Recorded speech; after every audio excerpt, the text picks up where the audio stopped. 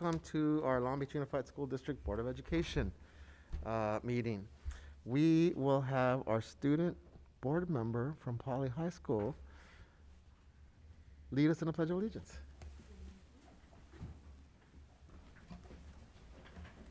Please stand and face the flag. Put your right hand over your heart. Ready, begin.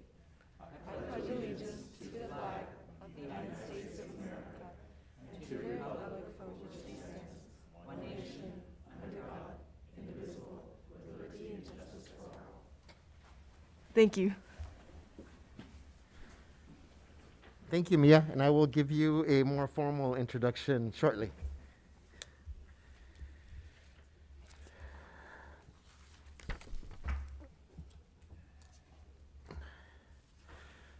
Okay, we welcome those who are here for the purposes of addressing the board at the proper time and in the order of their request.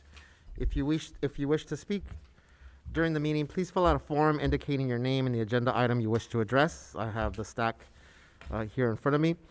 You may also request to give testimony on an item not listed for discussion today. However, full discussion on any items not listed on the agenda will have to be delayed until such a time as the item can be publicly posted in advance as a regular agenda item. If you wish to ask questions, please address them to the chair and not to individual members of the board or staff. In closed session today, uh, in case NC 060708, the board voted to approve a settlement agreement and release of all claims, the terms of which provide for consideration and release of claims. The roll call vote was unanimous and passed 4-0, with members Benitez, Kerr, Craighead, and Otto participating in the vote.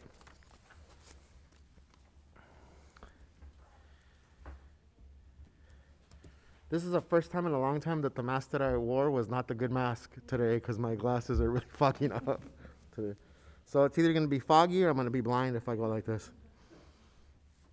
Public hearing today, we have none.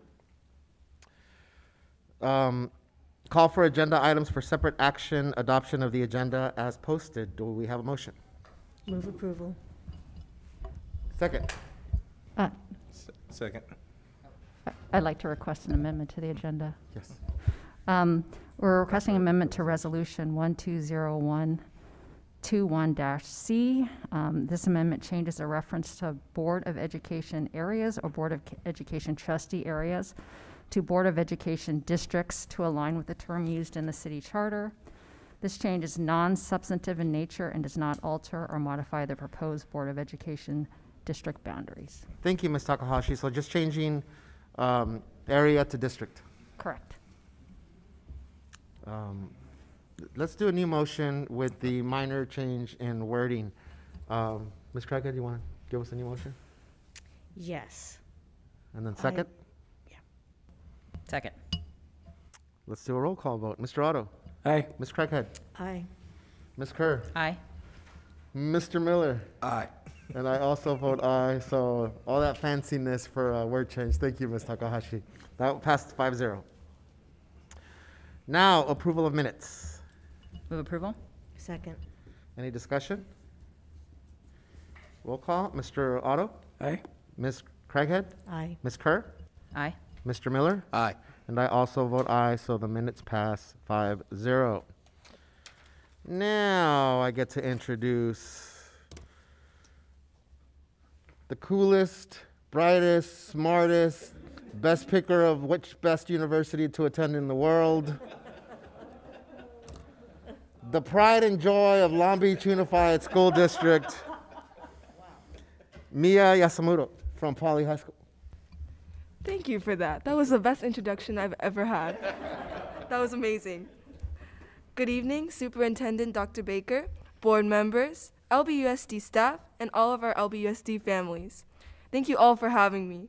My name is Mia Yasumura, and I am a senior at Poly High School. I am here as a representative of our ASB and will be giving a brief report on our school activities as student body president. We started our school year with a lot of uncertainty concerning COVID 19 and how we may get our students back to school safely. With the guidance of your board members and our administration at Poly, we continue to safely keep our in school learning available to us. We thank you all for this. Despite all being in a, despite still being in a pandemic, we continue to provide our students with opportunities to serve the community and have fun activities while maintaining safety measures. During our fall semester, our Commissioner of Organizations, Paige Werner, organized a fantastic homecoming week. With the help of our amazing campus clubs, we were able to reignite the spirit here at Poly. Highlighting our annual HOCO Fair, dress up days, and our exciting Tradition Lives On football game versus Wilson High School. Thank you, board, mem- thank you, board members Erik Miller and Dr. Juan Benitez, for joining us that evening. At the start of November, we successfully put on our Sadie Hawkins dance, which had sold out and hosted over a thousand people in attendance. Students got to enjoy themselves with our amazing DJ, karaoke booth, and so much more.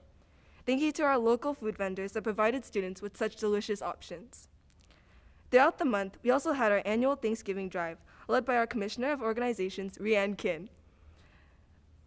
With the collaboration from our amazing clubs, we were able to donate over 70 boxes of canned food items to the Long Beach Rescue Mission.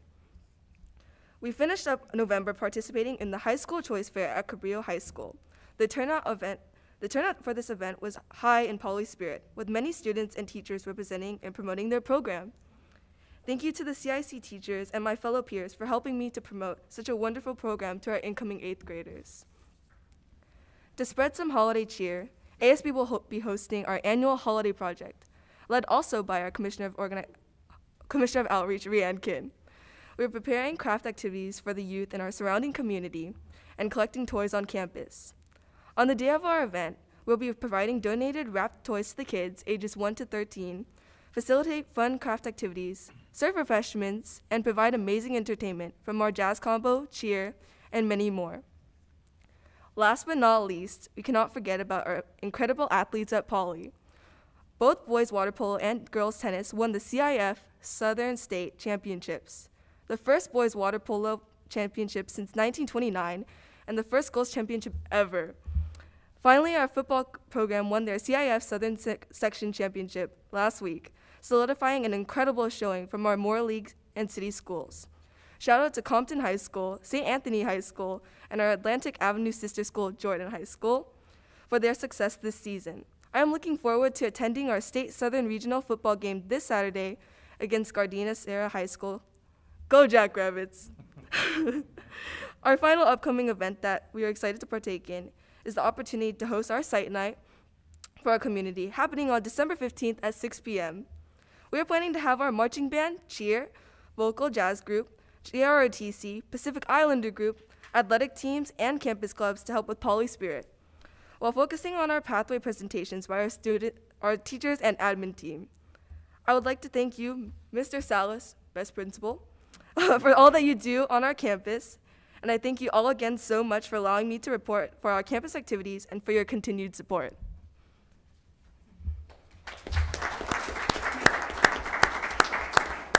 How about a second round of applause for our scholar athletes from Poly uh, this year that have so much to be proud of. Uh, so, Mia, you have an awesome introduction to live up to. Um, wondering what your plans are upon uh, graduation. upon graduation. So, if I do get into my dream school, which What's your I'm dream school? Say it for. Uh, My dream school, I'm saying it right now, is UCLA. UCLA is my dream school. so if I do get into my dream school, I would like to study biology or biochemistry to become a dermatologist because I've, ver- I've been very interested in studying skin because a lot of my friends struggle with acne and like skin uh, related problems and I would like to help them because I know it's like I don't know, like having insecurities is very hard, especially through high school. So I just that was one of my interests and um, careers. So, I'm hearing both undergrad and medical school at UCLA. Is that what? Yeah, of course, of course. Um, Thank you for being here, Mia. I'm going to open it up uh, to any of our other board members here that if they want to make a plug for their own college or university. I don't want to make a plug for that, but if you could work on wrinkles, I'm right behind you. Yes, I got you. I got you. There's your first client right there, Mia. I'll let you know when I get a degree. Uh, Mia, you're more than welcome to join us, but we know it's a school night, so if you have to excuse yourself, we totally understand, and thank you for being here and presenting again tonight. Yes, thank you again. I'm so honored to be here. I was a little bit nervous, but the environment here is just so welcoming, and I just thank you guys for that. So we should invite a bunch of other folks to come out and join us, huh? Yeah. I'd love to come again. Great, we'd love to have you. Thank you. So we are moving on to recognitions and acknowledgements. Our student, staff, and school celebrations. I believe we have a video with Daniel Rodriguez.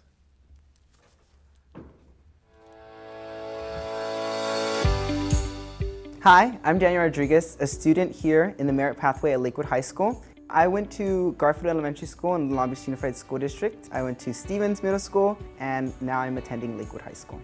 I had played baseball for all my life, from like 4 to 14, and I did not like it. And then when I came to Lakewood here, I joined the tennis program, and I enjoyed it, but I don't know, I just felt like it wasn't me. I felt like I was doing something because I was expected to. So I had always wanted to join the cheer team, but I was sort of afraid from being different or being looked at weird or kind of judged because that was a part of me I was always like pushing down. But I'm so proud of like actually taking that leap and trying out for the team because it has like revealed a new side of me that I kind of didn't know of. This school district is very diverse and I would say sometimes it can be harder for me within society to fit in, but I always felt welcomed within my classes by my teachers and by students. Well, I'm graduating soon. Uh, my dream school is UC Berkeley or UC San Diego, and I hope to go into the political science field and become either a House representative or like an immigration lawyer, because I really like being inclusive and like caring for people who are like not as represented within our society. As a student within the Beach Unified School District, I would say I've learned to be accepting and caring of everybody. I've learned to always have an open mind and to always be inclusive and understanding. That's why I try to keep my like eyes and arms open at all times and just watch out for other people.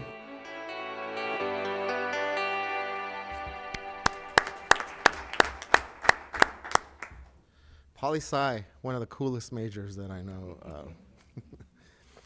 Uh, um, we're going to move into public testimony on items listed on the agenda. Uh, Leticia, was this all that we um, had, the ones that were handed to me? Thank you. So, uh, Mr. Suarez, can you call our first speaker?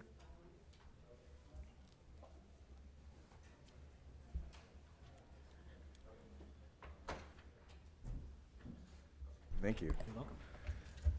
Welcome, good evening. Thank you. Um, good afternoon. Uh, please forgive the scripted nature of my comments this evening. Um, I uh, did not originally intend to uh, speak until just about a day and a half ago. So, um, but good afternoon, and thank you so much for your willingness to hear me speak and for having the public comment uh, section. I do appreciate it. My name is Patrick Galogli, and I've been teaching in the Long Beach Unified School District for going on 28 years now. And I know what you're thinking. How could you be uh, that old? You look so youthful. Um, well, I understand, yes, but I am actually that old, but who knew? I'm also a parent of three boys that have gone through the system, uh, and a foster daughter, actually, that graduated last year. And for uh, eight wonderful years at the very beginning of my career, I taught at Stevens Middle School, the pride of the West Side, where I fell in love with the pr- profession uh, to which I've dedicated so much of my life. In those days, we had uh, the uh, Air Quality Management District on speed dial in the main office. Due to our close proximity of the refineries of Wilmington, the 710 and 405 freeways, and the wider port pollution of trucks and trains and large container vessels. In some of my classes, it seemed more students brought inhalers than pencils, and we trained in staff meetings to assist students in respiratory distress due to the high rate of asthma on our West Side campus. After a brief stint in an East Side uh, K 8 school, I managed to land at the crown jewel of the Long Beach Unified School District, Long Beach Poly. Go Jackrabbits, where I have been for the last 18 years. Last year, I was honored to become one of the quiet adult supporters behind a group of dedicated, driven, mature, fiercely intelligent, and unfailingly optimistic students in the Green Schools campaign. I've been so impressed with their attempts to build this coalition of students, parents, teachers, administrators, green technology contractors, and other community stakeholders and district officials in developing a realistic vision of how to commit this district to 100% renewable energy by 2030. Likewise, I am so thankful that we have been able to have such productive and respectful dialogues with board members, district officials, and even city administrators. We all understand that this is an ambitious goal and that costs and budgets and timelines are much more complicated than a soundbite that can fit on a protest sign. But after seeing the resolution, I know that we can do this, that we must do this, and that our whole city will benefit as a result. Innovation is being spurred around the world to improve green technology, green fuels, cut emissions, and eliminate waste. And there's so much work still left to do. But we can't fix the whole world. We can, however, do our part. I believe this to be a great opportunity to do so. Long Beach Unified has always been a leader, and this is such an important time for us to lead. Please pass this resolution. Let's see this commitment through together. Thank you so much for your time. Thank you. And just for clarification, we are hearing public testimony on items listed on the agenda.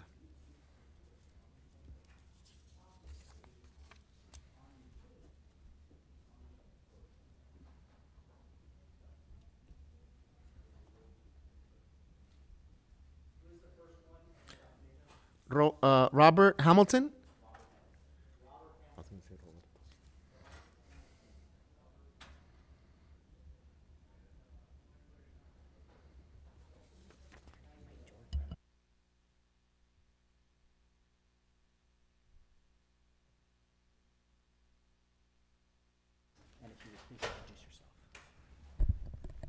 Good evening, welcome. Hello.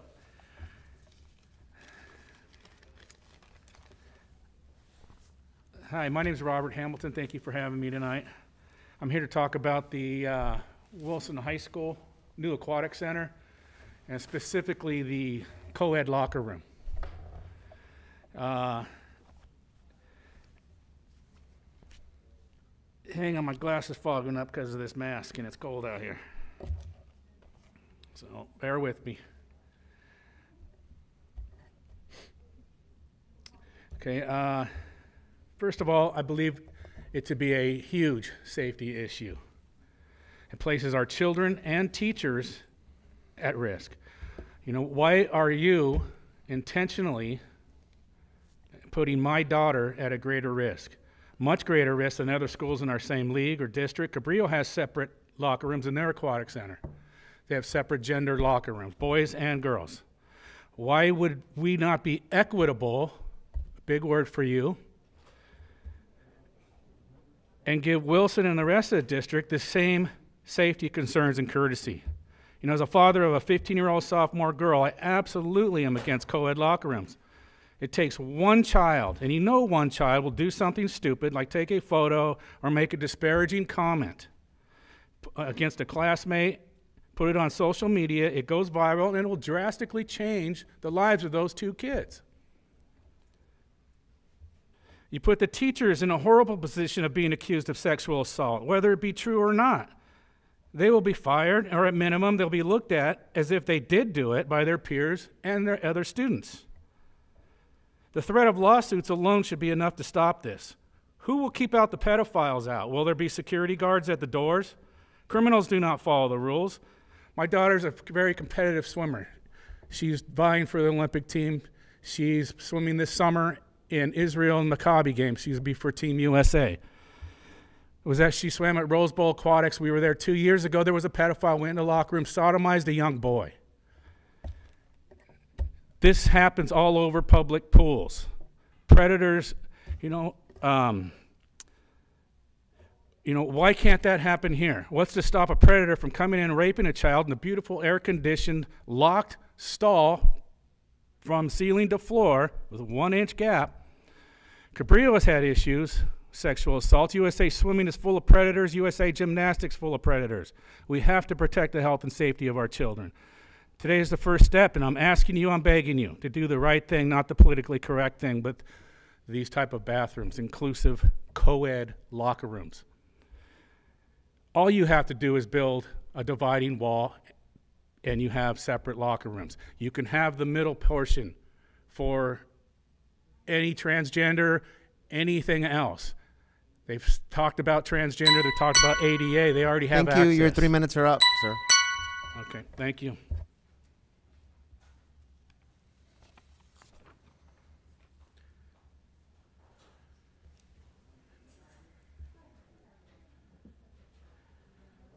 Mr. Suarez is our next speaker, Tracy Myers?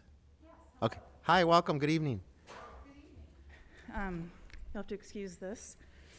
It's hard sometimes to, to talk through my mask. My name's Tracy Myers. I am a licensed architect and a former uh, Long Beach swimmer at Wilson. I was varsity three years and a captain. Um, I also work for the state of California Enforcement Office, so I provide opinions on uh, architectural standard of care. Um, I know that we all want the best aquatic facilities possible for Wilson and for the Long Beach School District. Um, and I'm here to provide you with comments, you know, on my analysis of the current design. Um, we have time-proven locker room designs that have been used for decades. And I know now we have some inclus- we have inclusivity goals and we have different design goals um, that need to be accommodated. And really, I think that we can accommodate the functionality requirements that we need in terms of the quantity of swimmers and also be respectful and responsive to the inclusive requirements by installing um, private stalls and such. So um, I've communicated with the district. I've had conversations with DSA um, and other stakeholders on these issues. Um, the current design, I think, is grossly undersized. Um, I'm very concerned about the size. Um, currently, there are 109 showers in the, both of those um, locker rooms. What's proposed is 10. That's less than 10% of the current capacity.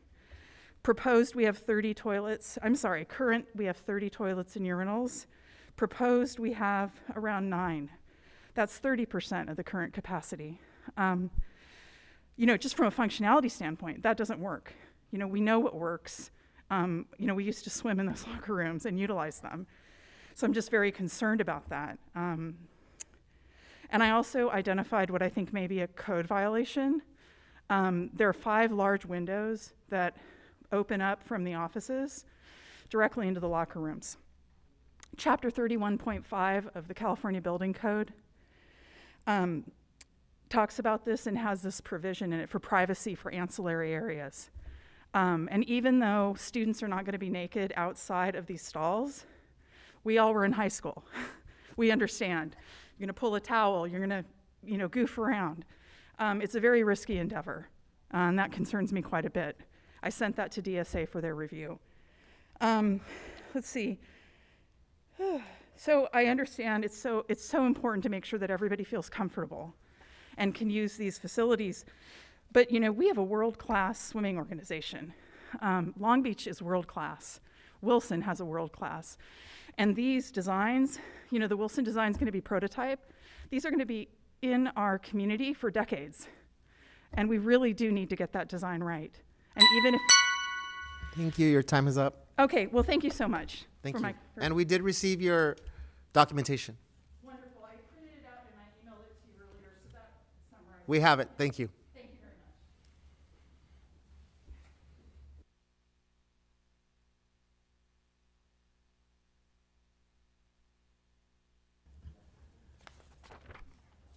Wonderful, I will. Good Nice and evening. tall. Welcome. Hey, good evening. My name's Katie Rowe.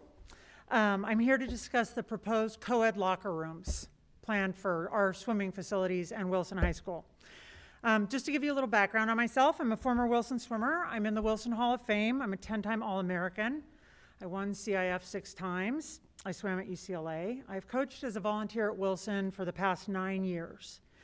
and I swim and coach for a local masters team. I'm very active and engaged in Southern California swimming.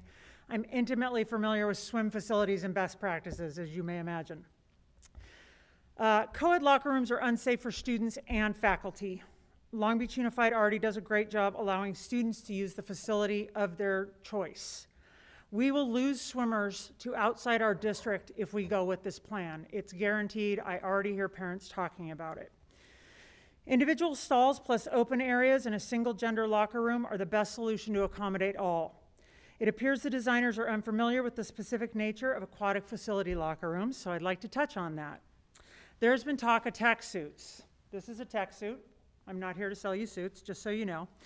For those of you not familiar, our girls wear these and boys, but our girls wear ones that look like this at a couple major competitions per year. The seams on these are fused, they're not sewn. So if you poke through them, they're done. They're basically trash. These cost $400 to $600 a piece. We have kind of a lending library of these. It takes our girls about 20 minutes to put one on, and one or two girls actually have to help them. It's very slow. A dual meet would have 100 to 120 girls putting these on after warm up all at the same time. There is not room to do this in a co ed locker room with stalls. I truly believe this is a Title IX issue of not giving adequate access to females to change for an event. This facility has a lot of problems. The stall doors encourage poor behavior and are not able to be supervised with the floor to ceiling doors. We could have drug use, suicide, self harm, assault. Uh, there's no benches. Locker room floors are wet by their very nature. When stalls are full, that's a problem. Girls have, and boys have big bags, musical instruments. Putting on pants in stalls. We actually stand on the benches to put our pants on because otherwise your pants drag on the floor. The stall doors with me standing on a bench will be this high, which means I can look into the next stall. Showers with uh, changing take about 15 minutes. There's no way to get 54 PE, PE athletes or 250 athletes through. Students will leave a stall to go to another changing stall so everyone can get through. There's also been no outreach to Wilson parents or coaches regarding these locker rooms. All of these problems are fixed with stalls and open space, single sex lockers, plus inclusive accessible spaces. Thank you very much for your time. I appreciate it. Thank you.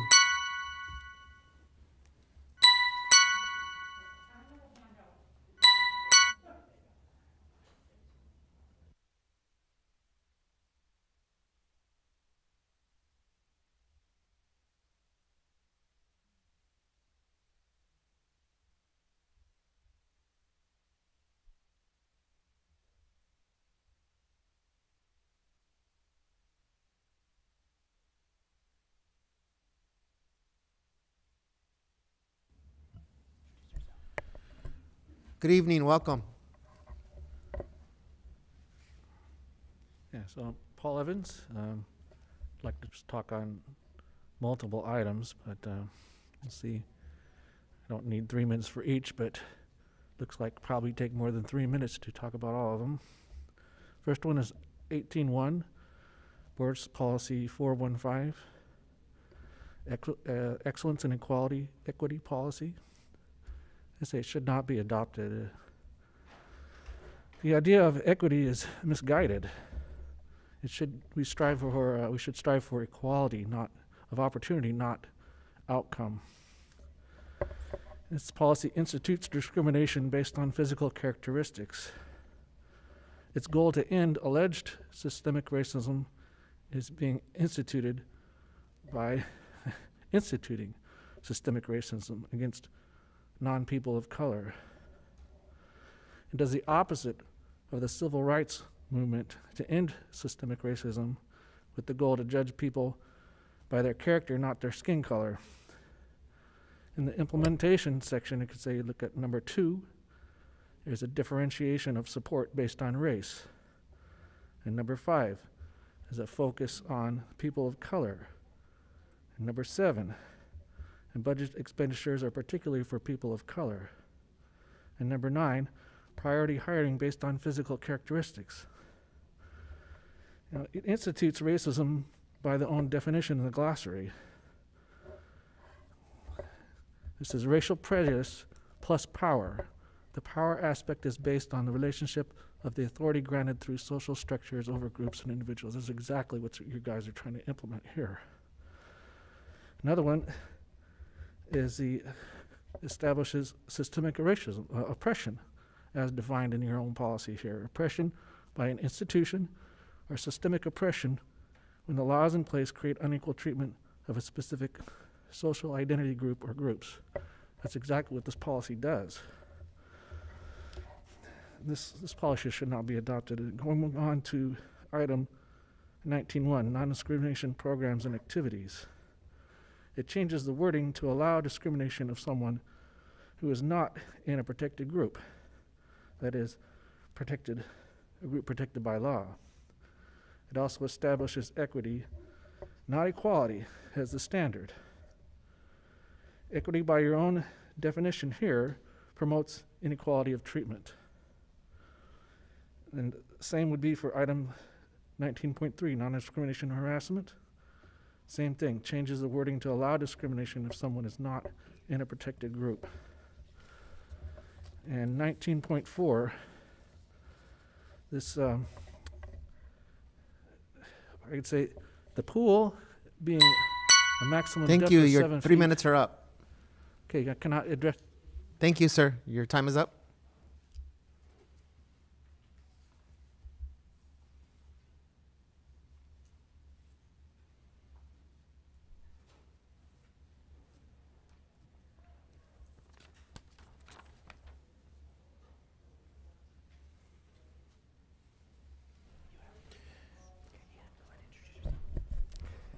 Good evening. Hi. Welcome. I'm here to address some non discrimination issues that people don't generally think about. And one of the issues has to do with non binary students. In sex segregated facilities, when people come across someone that they perceive as of a gender that they weren't expecting, especially if either party is nude, they can be upset and potentially dangerous. Now, this can be addressed in one of two ways. One way is to just require no nude clothing compulsory in all locker rooms. That's one way to address it. And the other way to address it is to just give people advance notice. Here's an example of something that you could use. In sex segregated facilities, if you just had a sign like this, it just makes people think about it that it's not just a male or female locker room, that could be someone else, and that symbol is a non binary gender. This would be a simple solution. It would provide people advance notice. It would also make the few students who are growing in number who are identifying as non binary feel more comfortable going into those rooms.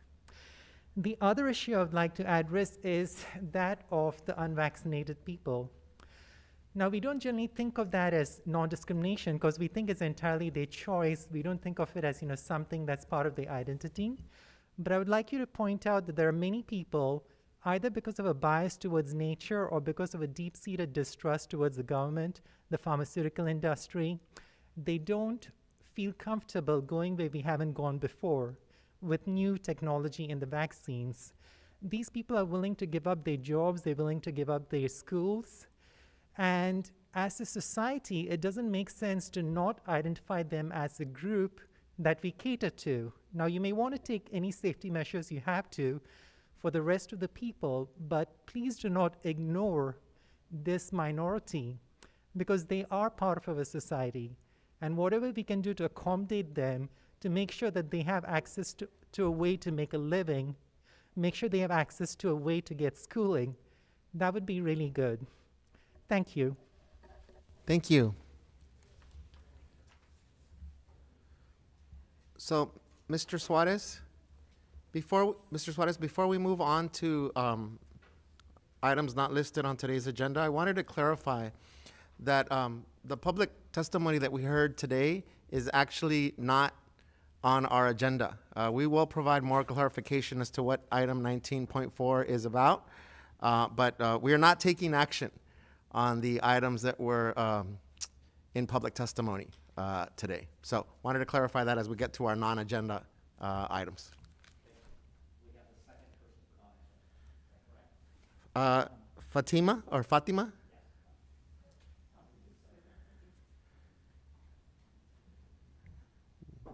Good evening, welcome. Thank you. All right. So um, my name is Fatima. I'm coming to you here as a mom, as an educator, um, as a community member, and as a delegate for, you know, Assembly District 64, which includes part of Long Beach. Um, I'm, but I'm standing here, you know, just as an ally in solidarity with the Green Schools campaign. Um, thank you so much to the school board for being willing to, you know, work on the resolution for the students. It means a lot. Um, just wanted to speak on the fact that the city of Long Beach, you know, faces the highest ozone pollution rates in the entire country and significant air quality issues due to the refineries that are in the area, including one near where I live.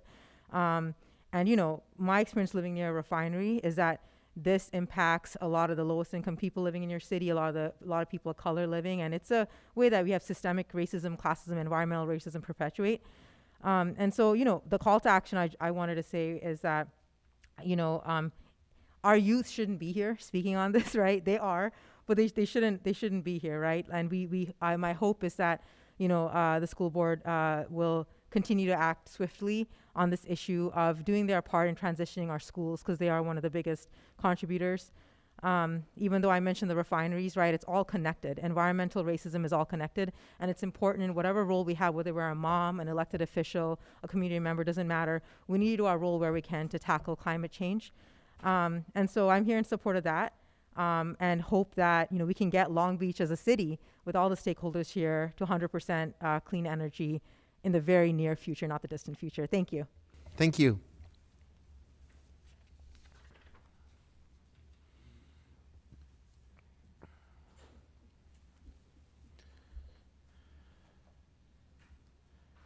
Conrad should be next, right, Mr. Suarez? Conrad? Okay. Good evening, welcome. Hello, LBUSD Board of Education. My name is Conrad Schreiber, and I am a junior attending Long Beach Polytechnic High School. Today, I wanted to speak a little about oil refineries. Oil refineries are a major source of air pollution not only for the people that live around them and work in them, but also they release chemicals that cause cancer, reproductive harm, uh, breathing problems, birth defects, and other health problems that affect us all. Of course, and almost, and this almost goes without saying, but one of the greatest issues associated with oil refineries is that they are a major source of greenhouse gases that are warming our planet. And living in the city of Long Beach, we are surrounded by oil refineries. Oil refineries in Long Beach, Carson, and the LA area, including the Marathon Los Angeles refinery, the Valero Wilmington refinery, the Los Angeles refinery, Carson, the uh, Tesoro for refineries, the Chemoil Corporation, and the Phillips 66 refinery. They all emit toxic and dangerous pollutants that our students, teachers, staff, parents, and community breathe in. As a cross country runner, I run at Signal Hill overlooking the entire city, which provides a view of the smog that coats the air that we breathe. Sometimes it's scary to think that this is the air that I breathe every day. And the thing is, our district uses the fossil fuels created by those refineries. We are supporting these refineries and thus polluting our communities, environment, lungs, and on and on. Thank you, and please continue to work with us, the Long Beach Green Schools campaign, to transition LBUSD off of fossil fuels. Thank, Thank you. you. Thank you.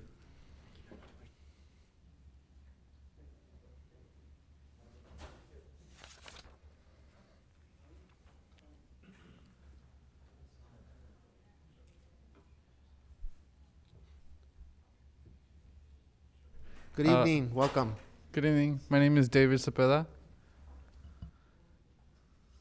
You can start, David. Okay.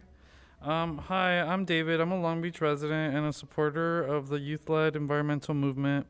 I find that I find these young people to be inspiring. And uh, growing up in LA, in LA County, I've dealt with asthma all of my life. Growing into adulthood, I've come to learn how refineries and every aspect of the oil industry have led to my poor have led to poor health in my community and others. That is to say that the bad air that I've known my whole life is affecting everyone who breathes it as well. I've come to understand that not only does air pollution greatly affect children's lungs as they are developing, but this smog pollution goes on to warm the planet and it will affect all of our future.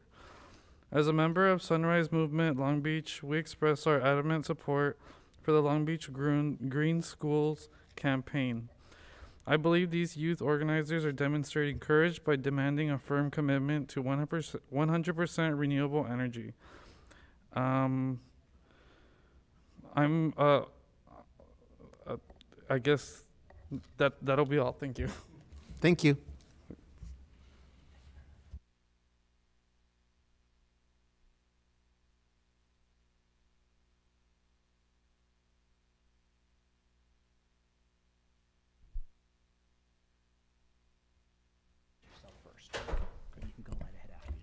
Okay.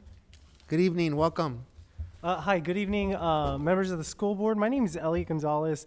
I'm uh, I'm a member of the Sierra Club. I'm with Sierra Club My Generation. Uh, I'd like to speak in support of uh, the Long Beach Green Schools campaign. Uh, I think that these youth are doing probably one of the most important thing that, things that young people can be doing at this time. they are making a claim to their future. They know that if they are going to inherit a habitable and healthy planet, they must take up the important task of moving this world away from fossil fuels to clean energy, power from the wind and the sun. These youth know that they that the very future of life on this earth as we know it requires an immediate and just transition off of dirty energy. They know that the polluting refineries and gas plants contribute to adverse health effects such as cancer and asthma in Long Beach and in nearby communities. They are willing to stand up to these highly profitable industries in the name of clean air, in the name of their future. The Green Schools campaign has the support of the community, and they make their demands that, the school, that their school district support the transition to 100% renewable energy. They know a school district can make a major impact by selecting clean energy to its schools, uh, to power its schools. These youth know that the battle for clean energy goes far beyond the school district, but they know as students they have every right to demand that their school district do its part. They have the support of Sunrise Movement Long Beach, Sierra Club My Generation, and even members of the City Council. But what's most important is the question will they have your support? Will you listen to the voices of the young people fighting for the future, or will you maintain the status quo? I believe the youth I believe the youth are the future, and I'm here to say that I believe in them. Thank you. Thank you.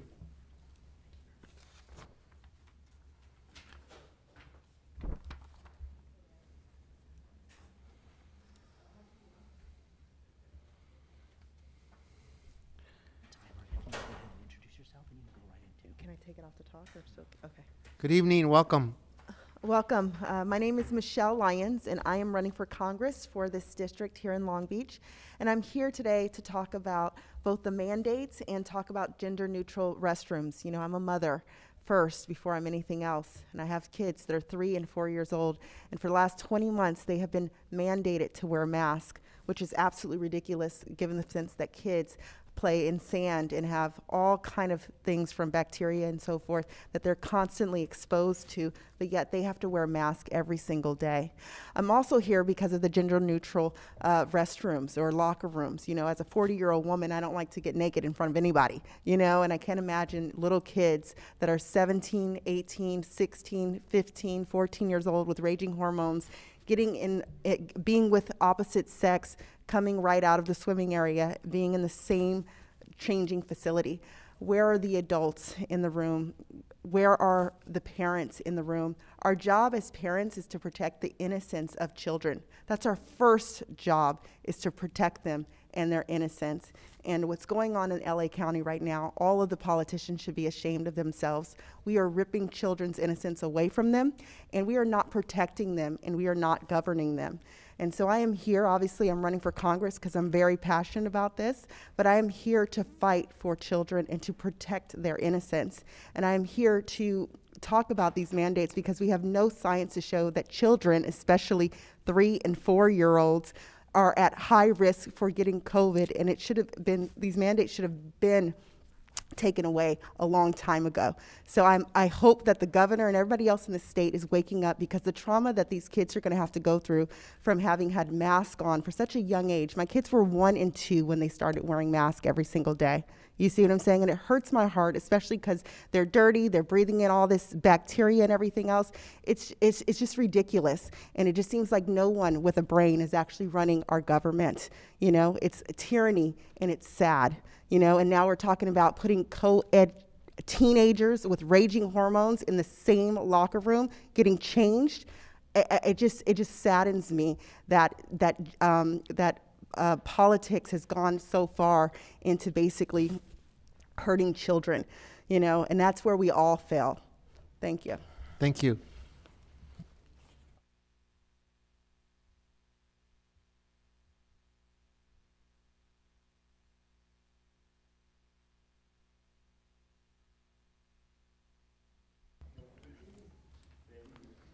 Thank you so much. Right. Good evening. Welcome.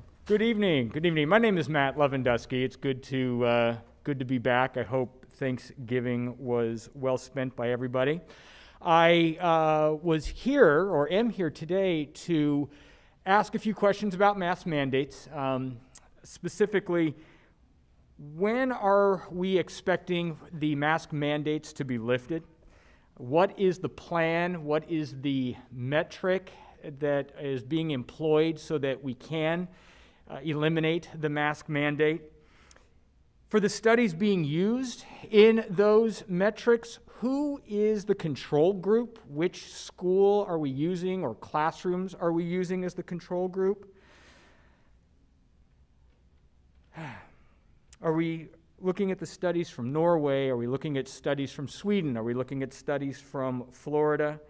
Are there any studies being conducted on how the masks are impacting the ESL community in schools? The size of the virus. Do we know the size of the virus? Do we know the efficacy of the masks based on the size of this virus? How many people have been fit tested uh, with their masks? Are we using N95s? I haven't seen any of the N95s in the schools. And are we connected to the idea of first doing no harm? I really think this is harming kids, folks. I don't think this is good for anybody. And maybe the information you have is more robust than the information that I have. And if so, uh, would really appreciate if it is shared with those of us in the community dealing every day with kids that are suffering through these mask mandates. Um, I ask that, uh, that we do what we can to find it inside ourselves to love our children more than we fear a germ Again, thank you for your time. Thank you for the time of the folks out there beyond the drawn shades. Thank you for helping us hold the line. Thank you. Have a good night. Thank you.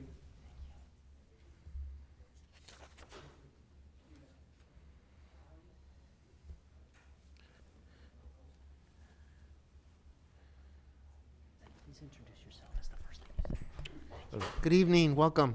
Good evening, uh, Long Beach Board of Education. My name is Enrique Chavez. I'm the Unit A uh, VP for uh, Long Beach Chapter 2, CSEA. I'm here to speak on a non agenda item, which is negotiations. Again, I'm here because your negotiating team keeps putting the blame on the board for not authorizing the raise for classified. Um, something that you guys should have gotten is at least 1,200 emails from the community um, to each and every one of your emails in support of our raise. Again, it's hard to negotiate when your team claims they are not authorized by you to move. That's not negotiating. Uh, we would like to share with you that we also have a CSEA budget analysis team. Our team ran the numbers, and the forecast presented by your CBFO of a doom and gloom is simply a tactic to convince you, the board, that there is no way the district can survive financially uh, with a $1.8 billion budget. Uh, that is a, a, a, big question. So again, um, uh, the doom and gloom scenario always comes down to classified salaries. Uh, again, that is really strange for CSEA and its members. So again, uh, plain and simple, someone is playing math games to convince you, the board, that you guys are broke again when it comes to classified salaries. CSEA also took note of the bus driver strike that recently happened. Even though the bus drivers are not district employees, we supported their cause for the cost of living raises. If only 100 bus drivers caused that much strain on the district, imagine if your essential employees did something similar. Can you imagine? Please don't misunderstand, but we are here for our students, teachers, and community as well. I will end my speech with some fun trivia. CSEA recently conducted a poll, and 60% of the classified employees voted to that they would be willing to strike. Another 20% said that they were undecided. Again, this is just a recent poll that we wanted to share with you guys. Thank you. Have a good night. Thank you.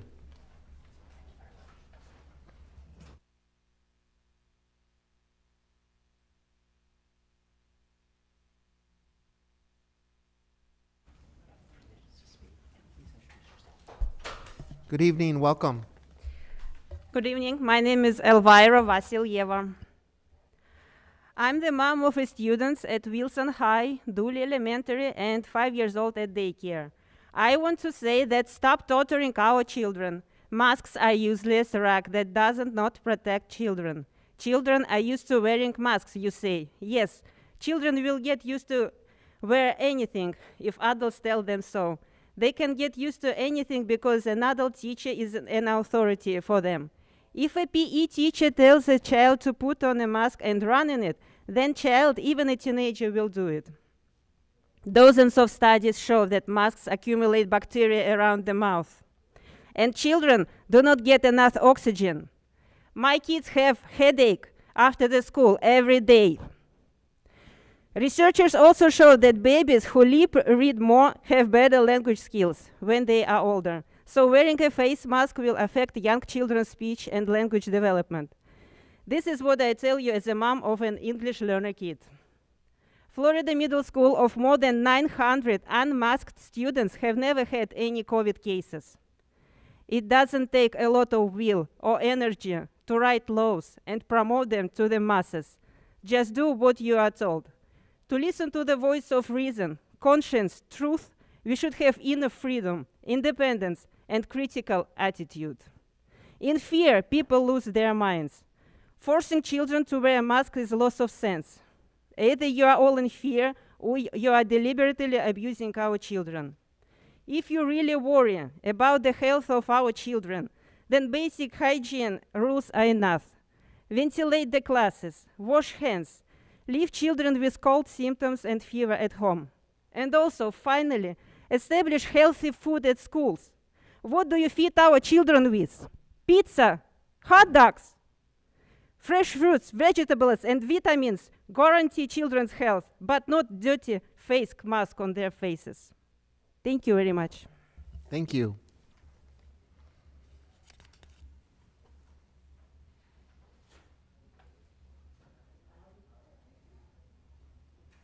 Mr. Suarez, I have uh, this person as our last speaker tonight. Is that correct? Thank you. Okay. Hi there. Good evening. Welcome. Thank you very much. Um, uh, my uh, name's put your Myron mask on, sir? Nickerson, and I am here not as a teacher, though I could be, I suppose, and not Sir, as. just want to remind you about your mask. Oh, I'm sorry. Thank you. Thank you. Oh, yeah, I, I didn't, I was not aware, so thank you. I appreciate the safety. Um, anyway, I come here as a parent uh, of one of these green children out there. Um, and I, I, I'm not much of an activist, so I've been uh, a student and a teacher and a parent uh, my pretty much my whole life in Long Beach Unified, and I'm very proud to be uh, a member of the community. And I also understand that this, in these terribly contentious times, how uh, leadership in education has been under such duress, and I honor what you do in your service. My brother's a superintendent himself, and you know he's he's experienced all the ups and downs of this pandemic. But I do know, as an educator and now as a parent of a 13 and 11 year old who attend uh, middle school, that if we don't take care of the future that we're supposedly preparing these children for, if we don't truly take action and immediate action, at least to get the ball rolling in the direction that these children are requesting. And I, again, I spent the holiday speaking with my brother, who's a, uh, just a superintendent of a high school district, but understands the challenges of making any monumental shifts. But as every child that's come in here today will tell you, and every child I've taught in the last five or six years, the time is now. There is no future without an earth that is sustainable and without energy that's sustainable and clean we're just setting them up for a very well educated group of survivors in a environment that's really not hospitable. So we have issues already with a port that pours toxins. You know, I taught at Cabrillo for a long time and noticed the dust every Monday morning that filled the cracks of the pavement from the port, the uh, you know the coke dust and the and the industrial dust. We have issues. We can do what we can to work with the port. We can do what we can to make our energy oil less oil dependent, and then hopefully we'll give these kids a great future to thrive in, not just survive in. Thank you. Thank you. That concludes our public testimony on items not listed on the agenda. Uh, As always, I want to thank the community members that have come out to provide public testimony.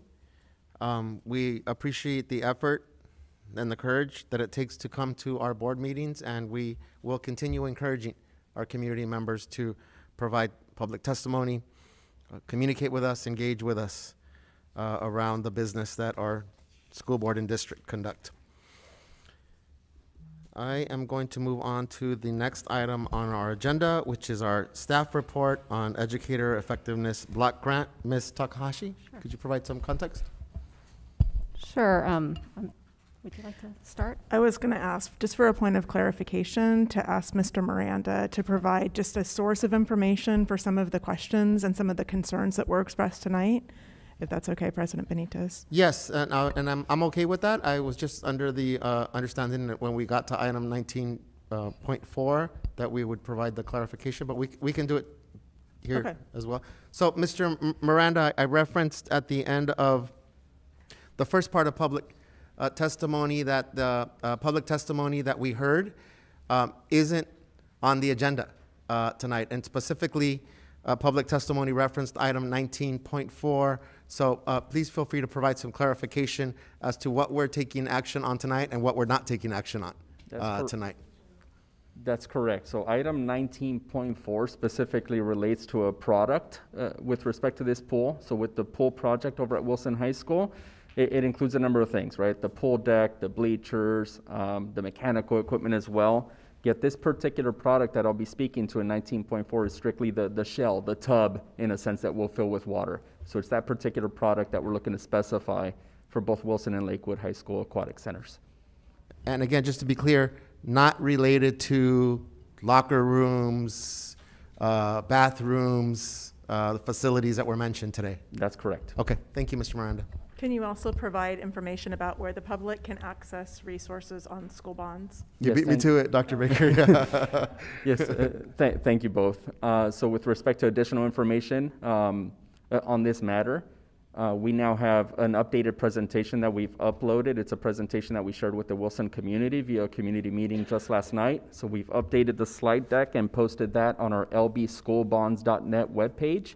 Uh, If folks visit that webpage, they can click on Wilson High School Aquatic Center and find the presentation link itself. Uh, there's also information there linked uh, with respect to our frequently asked questions um, file. So folks can click on that link a- and find that information. If you go to the primary homepage for the district, um, lbschools.net, you can click on the actual hard hat link or icon, and it gets you to that page as well. And again, Mr. Miranda, we're not taking action on the items in that presentation. Correct. Okay, thank you. Thank you, Dr. Baker. So um, now let's move on to Okay. staff report, Ms. Takahashi. Thanks. Um, so I'm happy to take this opportunity to provide information on an upcoming board agenda item that we'll have before you on December 15th. It's approval of a plan for the Educator Effectiveness Block Grant. And so this is one of the streams of funding that was included in the state budget for 21-22. And we like to provide, to provide a wider context in terms of the Learning Acceleration and Support Plan. So we always like to ground um, our conversations about budget in the Learning Acceleration and Support Plan. So this is our comprehensive plan to address the needs, um, the academic needs of our students, as well as the socio-emotional needs of our students It's transparent and prioritizes community engagement and continuous improvement. Um, and you've seen this slide many times. Um, this is our general fund budget broken out into different levels of funding, starting with our local control funding formula as its base, state grants and entitlements above that, federal grants and entitlements above that, and then local grants and entitlements above that. And the learning acceleration and support plan really spans um, all um, three um, levels of funding. Um, and so we've essentially braided and leveraged different funding sources to support the plan. And we've, we've utilized the feedback from multiple engagement efforts um, to inform not only the learning acceleration and support plan, but also the local control accountability plan, the extended learning opportunities plan that we had you adopt, as well as the ESSER, which is a federal stimulus plan, and as well as this educator effectiveness block grant. So from the various surveys, the various meetings that we've conducted on budget, this ongoing dialogue with the community r- will really continue to inform our efforts and the plans that we will have before you.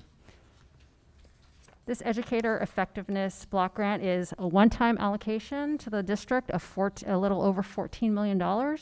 It expires in June 30th, 2026. Um, even though it expires in 2026, uh, we're required to have a plan adopted by December 20th of this year.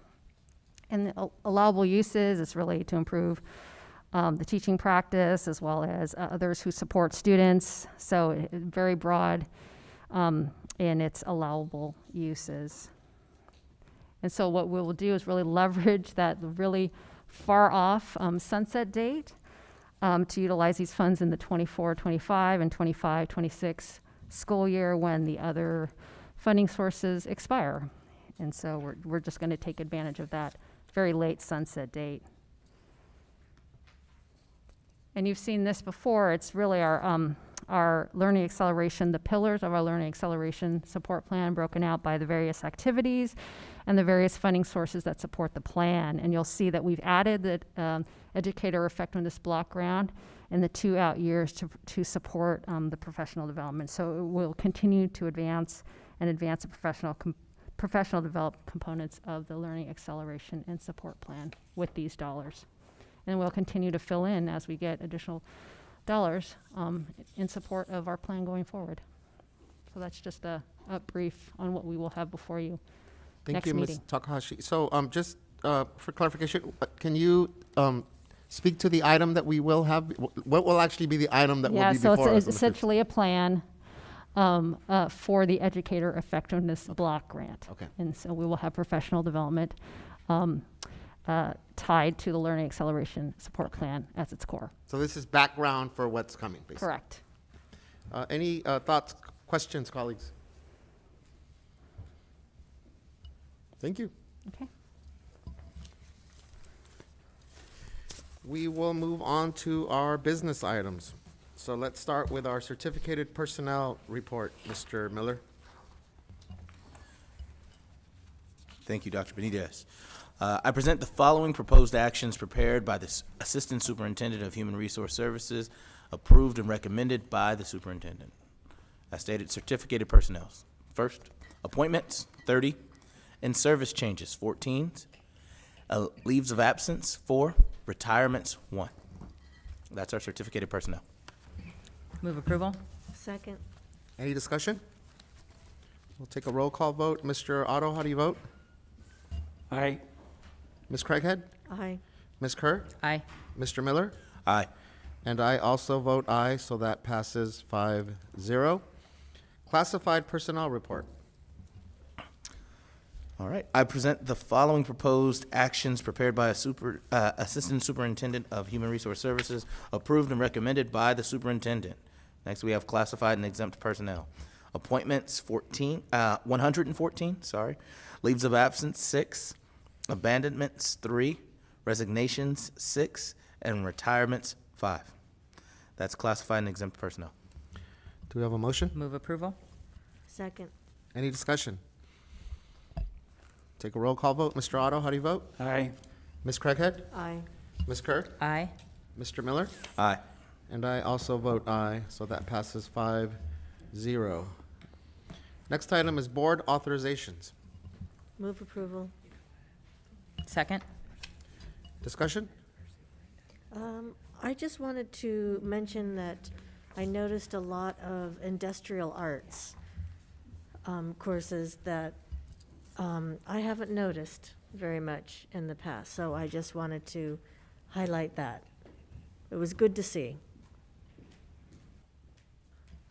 Uh, actually, oh, here it is. Yes. Ms. Ms. Craighead. So um, let me just read out loud here. To teach in a subject area other than a designated credential, a teacher must complete 12 semester units in additional to a subject um, authorized for middle school teachers must complete 18 semester units in additional subject to be authorized. So this is for our multiple subject um, teachers, right, Miss uh, Dr. Baker? I'm sorry, Mr. Zaid. So yes, but not just multiple subject. This also includes uh, single subjects. So this is again any teacher who already has a full credential.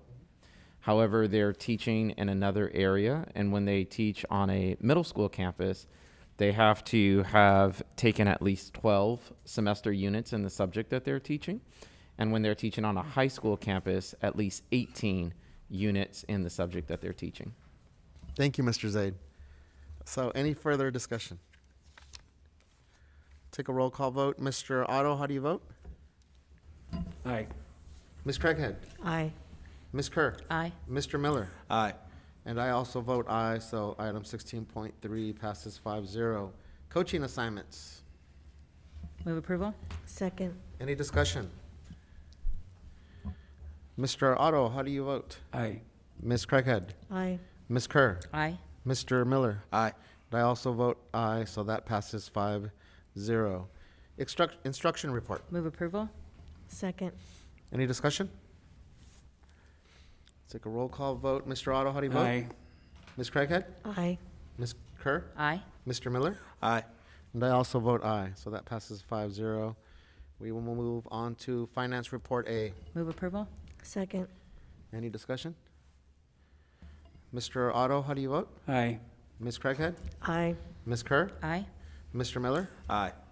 And I also vote aye. That passes five zero. Finance Report B. Move approval. Second. Any discussion? Yes, Mr. Chair, I recuse myself from participation in Finance Report B on the consent calendar. I have a potential financial interest under Government Code 1091 and 87100. My husband works for a subcontractor who has done work for the payees. Any further discussion?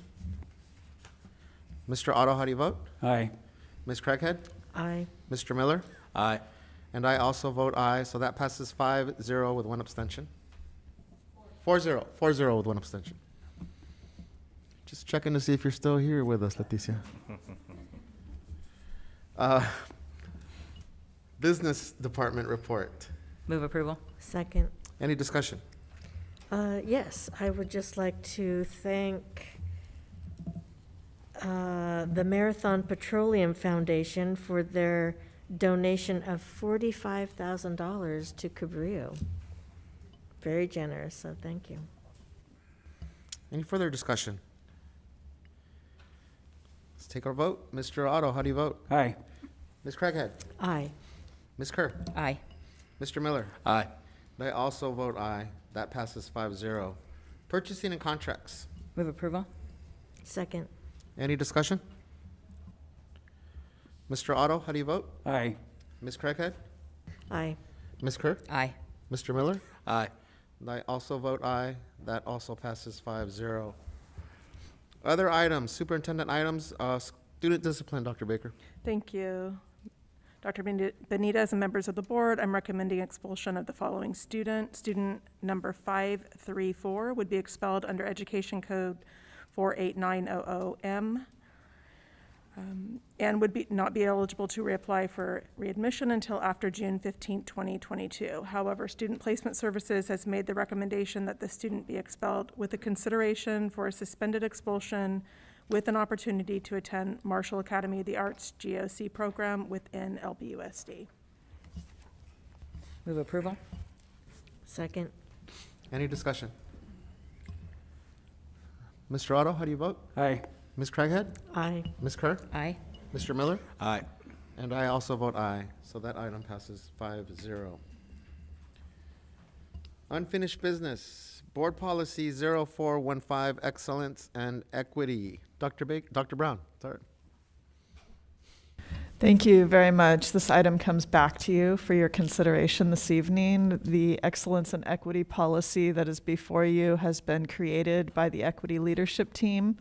30 individuals who have contributed as many as 30 hours of time in volunteer and support to our core mission, um, which is focused around excellence and equity. The policy reflects the sentiments of that group which also reflects the sentiments of our school district.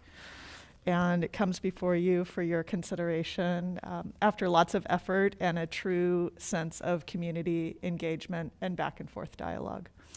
Thank you, thank you, Dr. Brown. Certainly glad to have this item back before us. We've heard it. We had a chance to hear from uh, ELT members about it. Got updates from Dr. Brown on an ongoing basis. So I think now's the time to uh, first I make a move- motion. I move approval. Second. And now any discussion? Um, yeah, I'll go ahead and start out. Um, I just uh, would like to thank everybody for their hard work and dedication. As you mentioned, some people put in as much as 30 hours, so um, it's always nice to have that type of commitment, especially when we're working directly with community members and volunteers um, um, on this very comprehensive policy. Uh, when you go through the pages, it's um, it's a very comprehensive policy. I appreciate, I especially appreciated the glossary because that ensures we're all on the same page and it, it really exemplifies the inclusivity part of this policy at a very foundational level. So I um, appreciate that um, very much.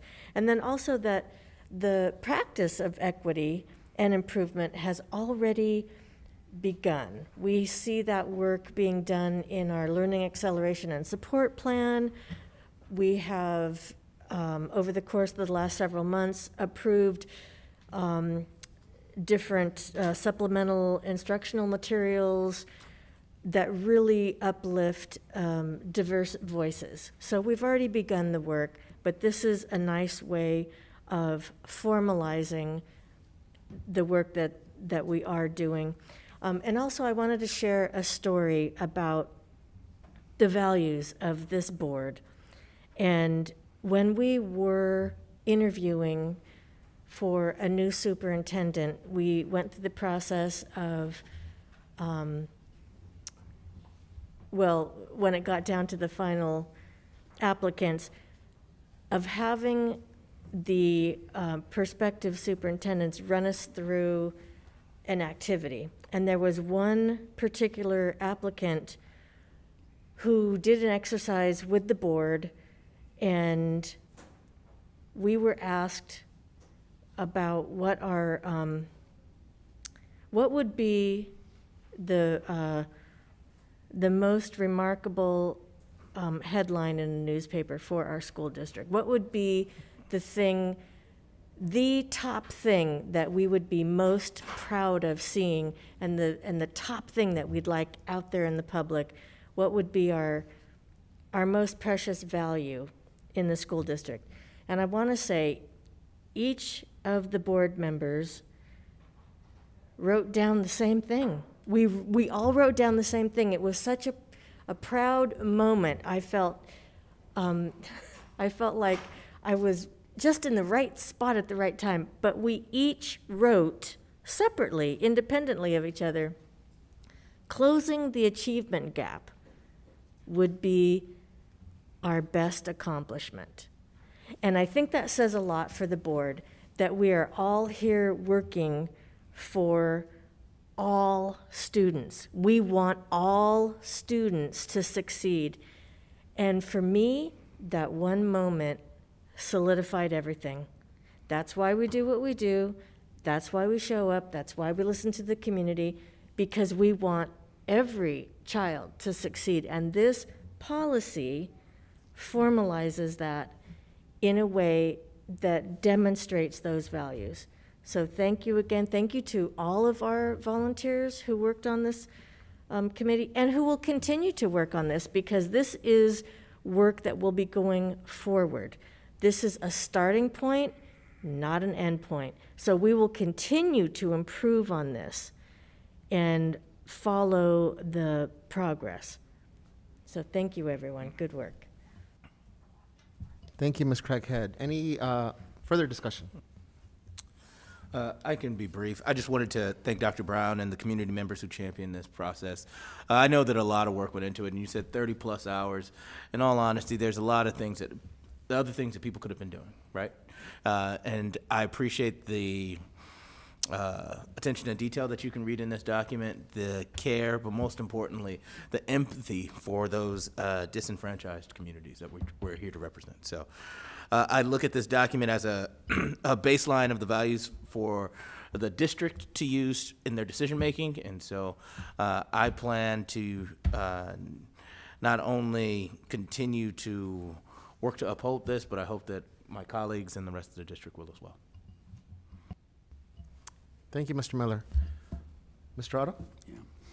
So I, I appreciate the opportunity to go through this document again since uh, August uh, and to look at uh, what other districts have been doing in this area. Um, my concerns in August were the possible unintended consequences of adopting a policy like this and that it might adversely affect the interests of the Long Beach Unified School District. Uh, I have gone through uh, uh, the revisions. Um, I found that uh, they were a, a, a, a strong step forward, that uh, they uh, helped answer many of my questions, but not all. And I am concerned about language like language that says, um, it's referring to uh, Dr. Anissa Davis, uh, the health director of the city of Long Beach's words that um, uh, Dr. Davis' words certainly did not discover the historic concept of racism, but rather highlighted the lesser discussed public health crisis that has emerged for black, indigenous, and people of color as the daily effects of white supremacist laws and structures. Um, I think language like that sends a bad message in our community. I think I, I am I'm a full supporter of equity. Uh, I have uh, been looking forward to the equity policy that we have been working on, and um, if uh, I, I, and I will support the policy if it is uh, if it's approved, but I can't vote for the policy the way that it's written now. Uh, and uh, I make a, a commitment to continue to support the idea of equity and excellence uh, in the Long Beach Unified School District. And uh, I've had an opportunity to look at a number of different uh, school districts, equity policies, and I find us to be an outlier. And uh, I, I have carefully reviewed the California School Board Association equity policy, which I see, which I find to be well written and uh, compelling. Uh, but I can't support this policy, so I'll be voting no. Mr. Otto, if I may, um, I appreciate the perspective you've offered. I wanted to add some context to the comment. Uh, the comment that you referenced by Dr. Davis is not a part of the policy.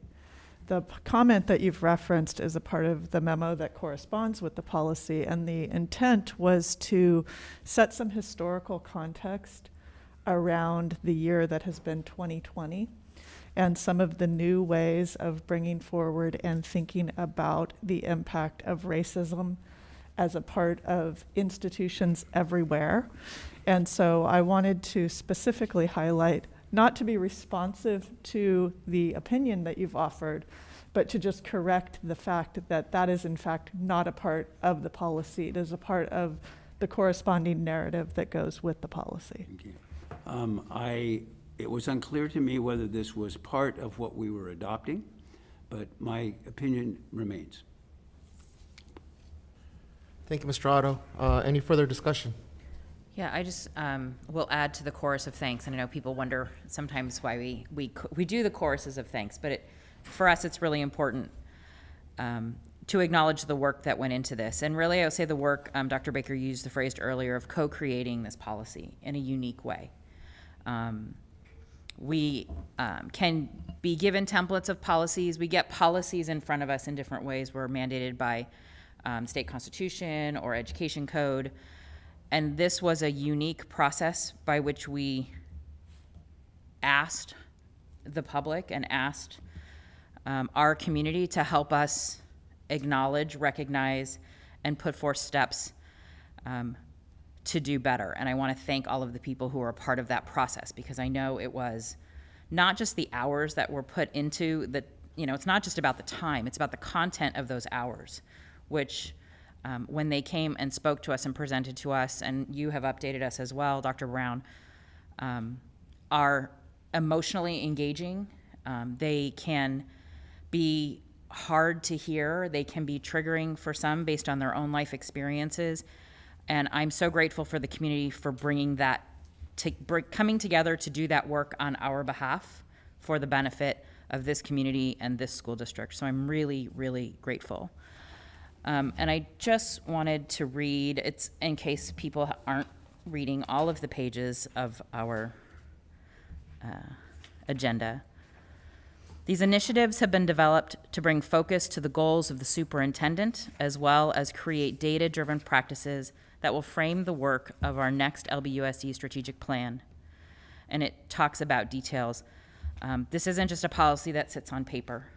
These are action steps.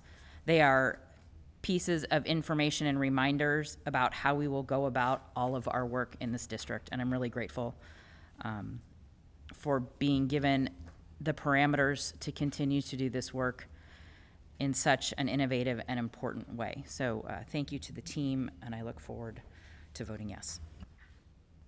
Thank you, uh, Ms. Kerr. So I, I want to uh, build on Dr. Brown's uh, comments. So, as with all resolutions and policies that uh, our district considers, there's context. Um, policies and resolutions don't just magically appear uh, out of thin air. There's context, there's background, there's stories. And then there's process on how it ultimately gets to our board.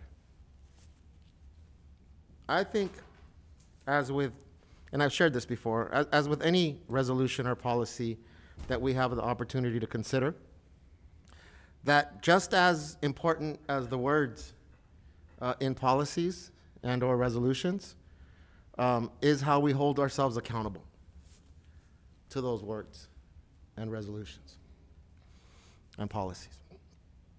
And holding ourselves accountable requires context. We need to hold ourselves accountable to something. And without that context, the words then become very difficult to uphold. And it becomes even more important then to be very concrete as to what we're going to hold ourselves accountable to, to be true to the words and the intent and expected outcomes in policies. So I want to highlight and uplift um, being respectful to everything that's been shared today, that we just finished celebrating Native American History Month. That didn't come from thin air. That didn't come from one day someone deciding, oh, let's do this. There's a context behind why we celebrate, why we educate, why we commit to the values that all of us here have shared. And the only way to hold ourselves accountable, and this is why this board is here, for three reasons for policy, budget, we need resources for these policies, and to hold our superintendent accountable to the things that we say we value, to the things that anchor our values, which is policies, and to the systems that require resources to implement policies. And that's the nuts and bolts without getting into a lecture on how a bill becomes a law. Schoolhouse rock uh, here.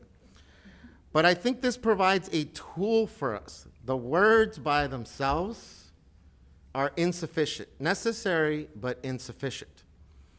And the tools provide us three additional avenues. One is to continue doing those things that we do well, that we have been doing, to do additional things that we should be doing according to those values, the visions, the priorities that we set, but also to recognize that we need to change other things. Not necessarily specifically that Long Beach has done, but the context that we are a part of a public education system in this country that we can learn from things that our systems, our institutions, in hindsight, and perhaps during that time when these were going on, we would do differently. And I think this policy, as it reads, comes back to us from what I heard from the actual members of that ELT team that helped to produce this policy for us to consider, all anchored their commitment to working on this ELT, on the values that we've expressed, but on the notion of accountability to those values. So this policy is necessary for us to continue doing those things that we do well, do those things that we say are important to us to achieve the equitable student success that we desire, and change those things that we could do better. So I uh, strongly suggest that we consider that when we take our vote. Any further discussion? Okay, let's take a roll call vote. Mr. Otto, how do you vote? No. Ms. Craighead? Aye. Ms. Kerr? Aye. Mr. Miller? Aye. And I also vote aye, so that policy passes 4-1.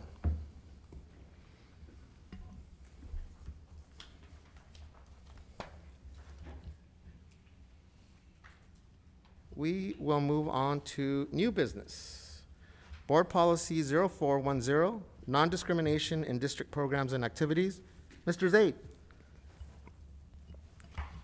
Thank you. As you're aware, board policies are periodically reviewed to ensure that they are updated to reflect the recent legislation changes or changes in the law. Over the next several board meetings, you will be asked to review and approve several other policies related to equity and non-discrimination uh, that will be updated. The three before you were last updated in 2017. And so the changes you will see throughout the policy are updates to non-discrimination language, such as the inclusion of immigration status, ethnic group, marital status, sex, sexual orientation, gender, gender identity, gender expression, genetic information, um, and additional information on equity. Other changes that will be reflected include the publishing of the contact information for the coordinator of non-discrimination and employment, which is myself, ADA coordinators, which are various staff, our Title IX coordinator and UCP compliance officer, Kim Dalton, and a new role of equity compliance officer, which will be filled by Steve Rockenbach. These compliance and coordinator roles support the district in ensuring compliance with uh, federal and state laws and regulations governing our educational programs. Just to talk about uh, some of the tools that we use, when we are making updates to our board policies, we utilize the California School Boards Association sample policies to compare. We also um, take a look at the current legislation regarding these policies. Another helpful tool that we use is the Education Equity Program, which is an instrument put out by the California Department of Education. And so we use all three of these tools, compare it to our current policy, and then we look for where updates are needed. And so the three recommendations that you have before you reflect uh, those policy uh, updates according to the changes in legislation and uh, new laws. So, Mr. Zaid, thank you. Uh, um, quick clarification before we Sure. entertain a, a motion. So are we voting for 19.1, 19.2, and 19.3 separately or collectively? Separately. Okay, thank you. Now I'll entertain a motion. Second? Uh, discussion. Okay, so we're voting on non-discrimination in district programs and activities first. Mr. Otto, how do you vote? Aye. Ms. Craighead? Aye. Ms. Kerr? Aye. Mr. Miller? Aye. And I also vote aye, so that passes five zero. Board Policy 4030, non-discrimination in employment. Move approval. Second. Any discussion? Okay, let's take a vote. Mr. Otto, how do you vote? Aye. Ms. Craighead? Aye. Ms. Kerr? Aye. Mr. Miller? Aye. And I also vote aye. That passes 5-0. Uh, next, Board Policy 5145.3, non-discrimination, harassment of students. Second. Any discussion? Mr. Otto, how do you vote? Aye. Ms. Craighead? Aye. Ms. Kerr? Aye. Mr. Miller? Aye. And I also vote aye. That passes 5-0. Next item is resolution number 12012-A, dash A, sorry. Uh, resolution of the governing board of Long Beach Unified School District designating specific material, product, things, or services for use at Wilson High School and Lakewood High School pursuant to Public Contract Code, Section 3400C1. Uh, Mr. Miranda, I know you covered uh, some of this already. Additional information that you'd like to share specific to uh, this recommendation?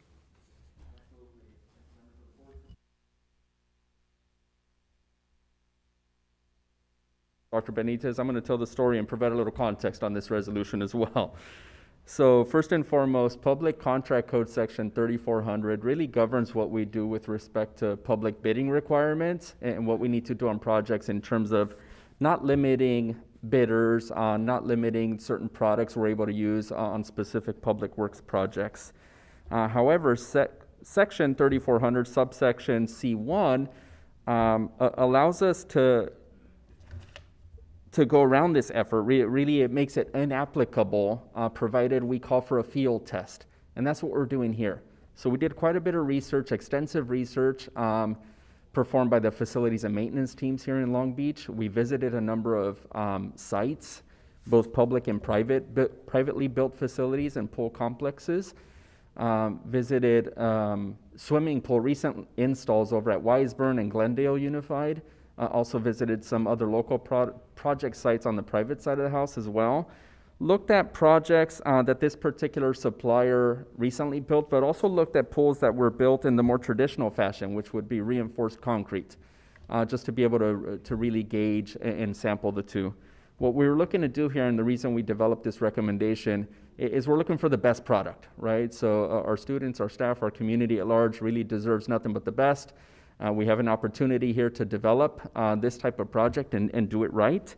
And really, what we hear out there, just in terms of our, our research and the folks we talk to, including our counterparts in neighboring districts, is this product is in fact up there at the top. So uh, not only has it been built uh, in, several cases throughout the state and across the nation and, and really the world for that matter, it's used as the primary product for Olympic events as well, right? So it's, it's really at the top. Um, it's a stainless steel modular panel um, type product, 100% customizable. Uh, we like the fact that it's been deemed UV, algae, and chemical resistant. Um, it really just comes with a, a durable, long lasting um, lifespans, and that's what we hear even on some of the older installs as well. So it, it's really known as one of the best products. Uh, we want to develop a field test here so we can sample it over at Wilson and Lakewood. Those are the first two aquatic centers in terms of the, the aquatic centers we're, we're setting out to build across the comprehensive high schools. Uh, but this field test will allow us, in fact, to determine if it's a suitable project going, a product going forward uh, for the additional installs.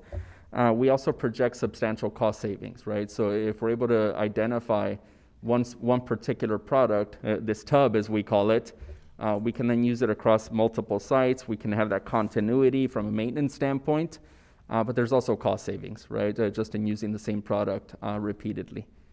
Uh, so with that, we want to recommend uh, moving forward with this resolution, uh, which really just allows us to, to go with a field test at these two particular locations. Thank you, Mr. Miranda. Do we have a motion? Move approval. Second. Uh, Any discussion? Uh, just one quick question about the material. Does it impact our sustainability efforts in any way?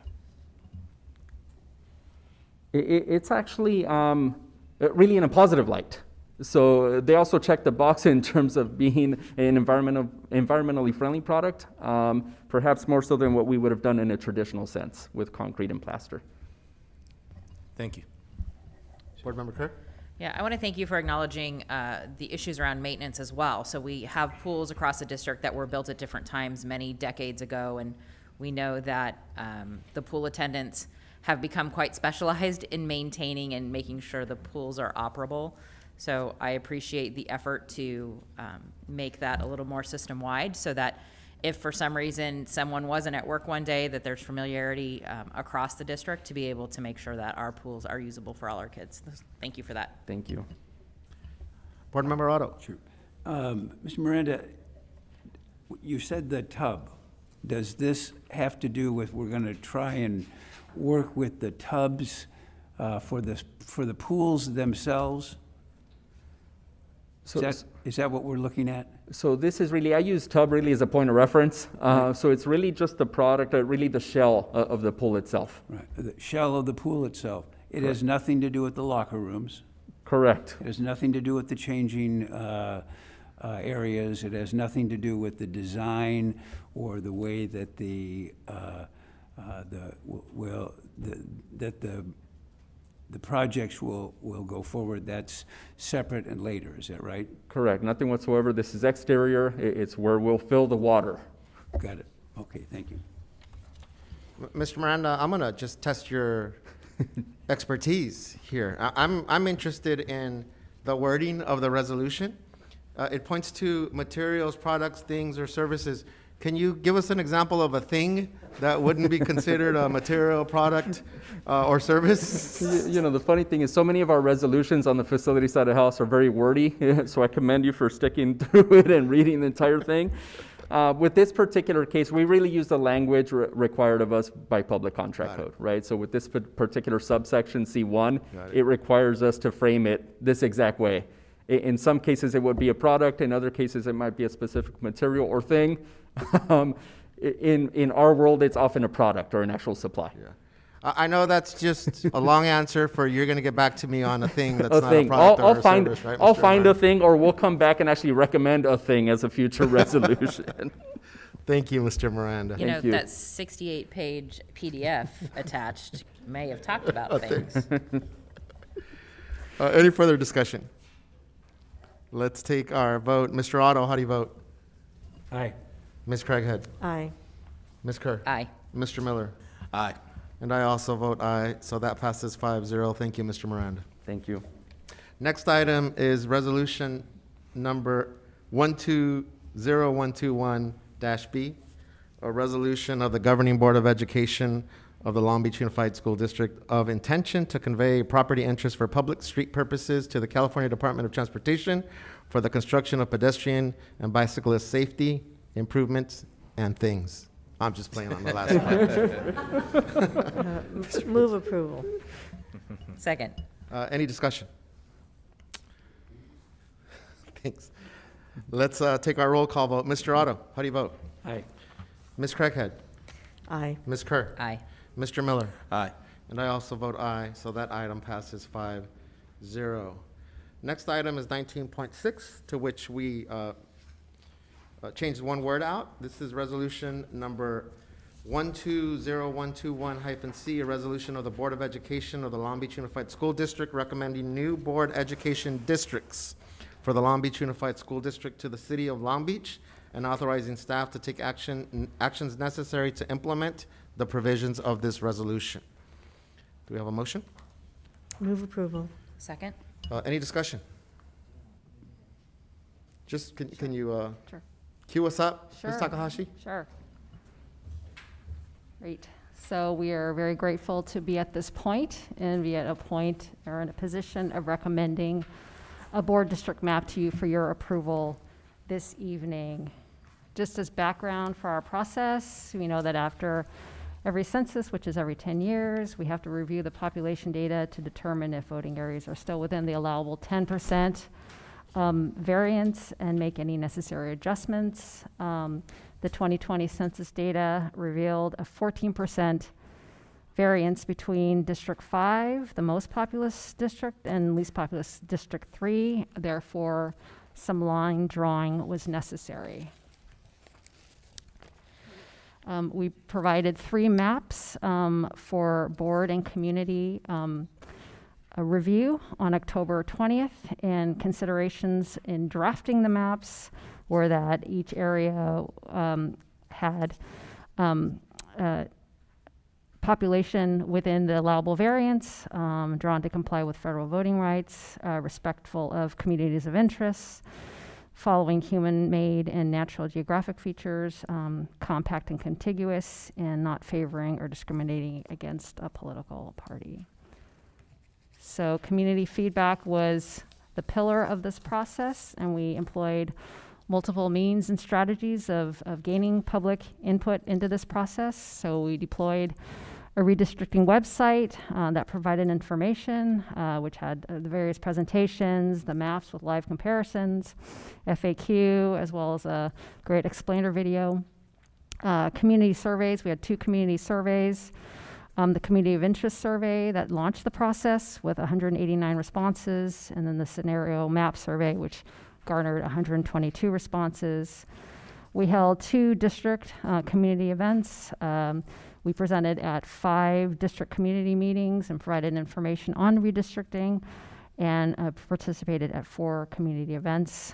Um, we sent out postcards, uh, 40,000 postcards to the LBSD community asking for feedback on the proce- uh, on redistricting, as well as advertise the process on social media and send out school messenger messages.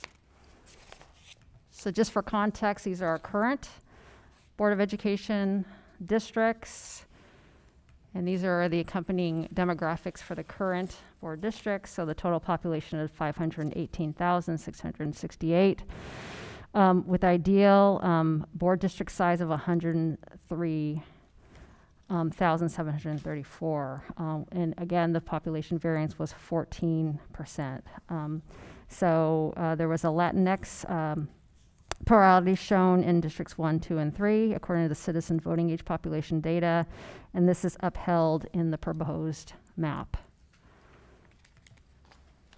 So the, the map that we were proposing to you was scenario two or map two, um, as it reflects the community's uh, desire to keep neighborhoods and cities together. Some strong themes that emerged from the community of interest survey and the map feedback survey was the desire to keep city uh, Signal Hill together within one board area. Um, other strong feedback that we got was the importance of keeping Bixby Knolls, Los Cerritos, and California Heights within one board area, and a desire to keep the Cambodian community together in one board area. So here is uh, the proposed map. So this is map two. And here are the accompanying demographics. Um, to map two, we show 7.6% variance. Um, and again, the largest Latinx plurality is in District 1. And again, maintains the Latinx pluralities in Districts 1, 2, and 3. Here are the changes um, to some of the lines um, in the, um, with the proposed map. And here, we're honing in on the affected areas. So here, all of Willow Springs and Signal Hill would go um, from District um, uh, Four to District um, to District District Four to District Two. Um, next one, Los Altos South and Stearns Park areas affected, um, with um, bounded by four or five to the north and the east, Stearns and Atherton to the south, and Lakewood to the west and from District 2 to District 3, um, the rest of the Willmore and St. Mary's areas, um, with Anaheim to the north, 7th Street to the south, and Alamitos to the east. And so our next steps, if approved uh, this evening, they'll be s- the map will be submitted to the City of Long Beach for approval, and then uh, the City Council, with City Council approval, the map will be submitted to the LA County to implement the voting precincts for the June 7th primary elections. So as we conclude, we'd just really like to thank the community for joining us on this journey and who have um, taken their time and shared their feedback with us. And, and thank you to our community partners who have really partnered with us um, in the outreach for this effort. So at this point, Thank you, Ms. entertain Takahashi. Questions, yeah. Uh, Any questions or comments from my colleagues? Mr. Miller? Uh, I recognize that uh, over the past, I think, 30 days, you heard from my colleagues here a strong interest in wanting to see uh, uh, comments and input from the community, and I will say that you guys stepped up to the call. I, I saw the numbers continuously grow. I think at the end they grew exponentially. Uh, I went through the comments and read uh, them thoroughly. I saw a heavy interest in folks wanting to keep Bixby Knolls and Cal Heights together, which is in my district here. So I just appreciate the uh, level of interest and the level of effort you all put to making sure that we got community input. Any other discussion? Mr. Otto? Yeah, I, I uh, c- watched carefully the development of these options and then the arguments made in favor of the different options. And in particular, uh, I uh, was watching closely um, uh, what the comments were that, that came in and the, and the outreach, which I commend the district on, what they did, and uh, really made an effort. Um, I, in my area, I had virtually no comments at all about changes which were reflected in any of the three possible maps. And um, that gave me some comfort. I think that the reasons that are advanced for the adoption of the particular recommendation, which include keeping Signal Hill together as an area, uh, while uh, a laudable goal is sad to me because I represented him and I won't represent him anymore. Uh, but that's to the benefit of Signal Hill. Likewise, uh, the community of interest standard uh, that applies uh, in an analysis like this uh, means that the, the neighborhoods of, for example, Bixby Knolls, Cal Heights, and areas in that area stand together. There's a, there are historical reasons for doing that. In fact, I was involved in creating the, the Cal Heights Historic District, and, uh, and there is a lot to be said for keeping uh, neighborhoods together. And uh, so I, I- I think that's another re- reason that, that these, uh, that, that these recommendations are a good one, and I'm very supportive of what the out- outcome has been. Doug, just so you know, I'll take care of your Signal Hill residents for you, and you can feel free to visit them at any time, okay? I'd, I'd like monthly reports, if that's okay. You should jog up together while you're having the monthly reports. Uh, Any further discussion? Um, I would just like to go on record as saying I, I stand to have five fewer schools in the fifth district. And that makes me sad because I've enjoyed representing them, but I understand it's, um, for the greater good. But I just want to say, I'm going to be very sad not to be representing those five particular schools. Thank you, Ms. Craighead. Ms. Kerr? Yeah, I just want to thank uh, Ms. Takahashi and the team for a really robust process. Um, A lot of us who were actively engaged in doing things around the district the last time this happened, um, I've talked to several folks, and we have very little recollection of what it was like and how that vote went down. So I want to thank you for um, a robust process over multiple meetings um, and all of the, the community outreach that you did around this um, in a way that is, as if I, in all of my remembering, is pretty unprecedented. So thank you uh, for your efforts and the team uh, that did the work. Thank you. And, and I would just add my thanks to, to the team and to the community partners and community members that participated in our process, uh, understanding the challenges involved with involving community members, educating community members, and then um, adhering to the tight timelines uh, that we had. Um, So uh, I appreciate the recommendation um, for map number two particularly uh, because um, of the importance that map number two reflects in terms of our race and ethnic uh, subgroups. um, the importance of the overall total population balance. I mean, we went from a 14% variance to seven. The importance of the CVAP, or citizen voting age population uh, balance, and of course, the importance of our communities of interest. And my colleagues here have already spoken to how this map upholds uh, that both by keeping Signal Hill together, neighborhoods together, uh, our Cambodian community uh, together.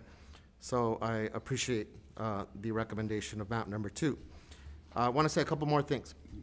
As has already been referenced, this goes to our city council colleagues. So I um, encourage them to listen uh, to what has been discussed here as we approve, uh, uh, as we take action, I should say, on a map uh, tonight uh, to help inform then their decision on um, approving whatever we move forward uh, tonight. Uh, Lastly, and I referenced the challenges with the timeline and community involvement. Um, And I know I was hard on the team, uh, Mr. Grayson, Mr. Suarez, Ms. Takahashi, on the importance of community engagement. Uh, But really, uh, what we were setting to do here was to build on the foundation for community engagement, for our ongoing community engagement efforts and future community engagement efforts. So um, those visits out to Franklin and the Thanksgiving dinner giveaway, uh, Justin, and, and, and the, the various other events, activities, and um, relationships with community partners um, have ongoing and long-term payoffs for us in terms of our commitment to community engagement. So thank you for that. Um, with that said, any further discussion? I have a quick question about the timeline. Uh, Do we have an idea as to when the city council will be approving this? December 7th, it will be before the city council. December 7th? December 7th. Yes, that's next Tuesday's council meeting. Okay, Yes. next, to- and then um, would it immediately go into effect, or how long before it would go into effect? So it would be in effect um, upon approval by the city council. So that's when So- I'd lose my five schools So we will, next week?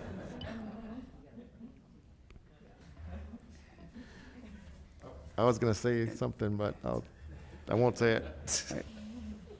Are you gonna say it for me, Doug? Um, You tell me if I, if I Okay, say it, when I okay. say it, okay? Um, Mr. Otto? Okay.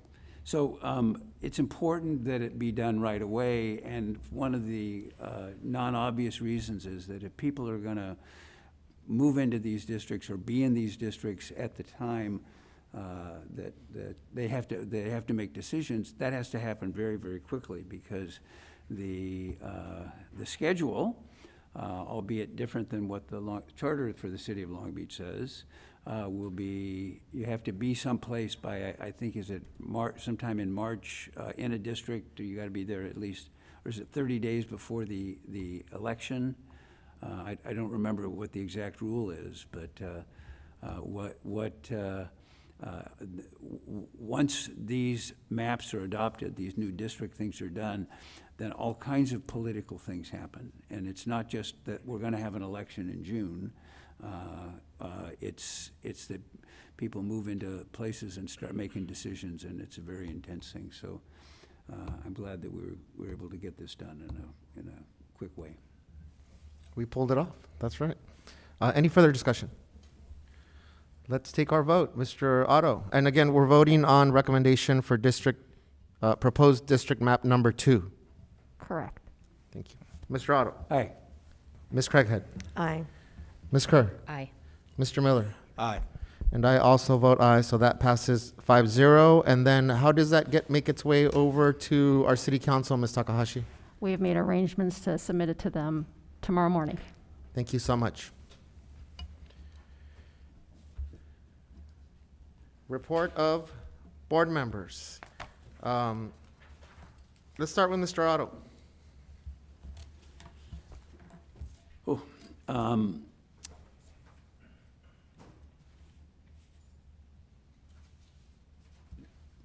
This is a, a big agenda today, and uh, a lot that reflects a lot of work that's been done by the district over a, a very long period of time.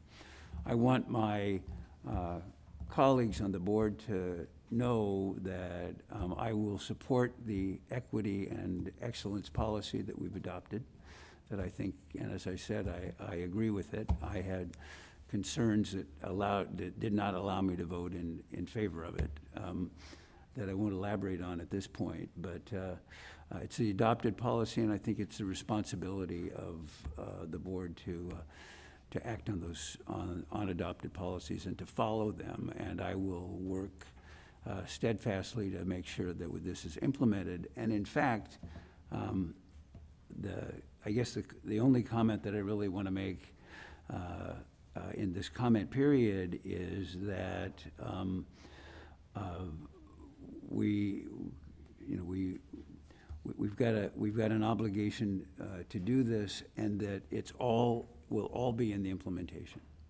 That uh, the way it's implemented and it's laid out in the policy uh, uh, means that there's a lot of work that needs to be done to, to put this together, and, uh, and the proof will be in the pudding to get this done, because there's a lot there. So, that's all. Thank you, Mr. Otto. Ms. Craighead? Well, I'll start out by saying Happy Hanukkah.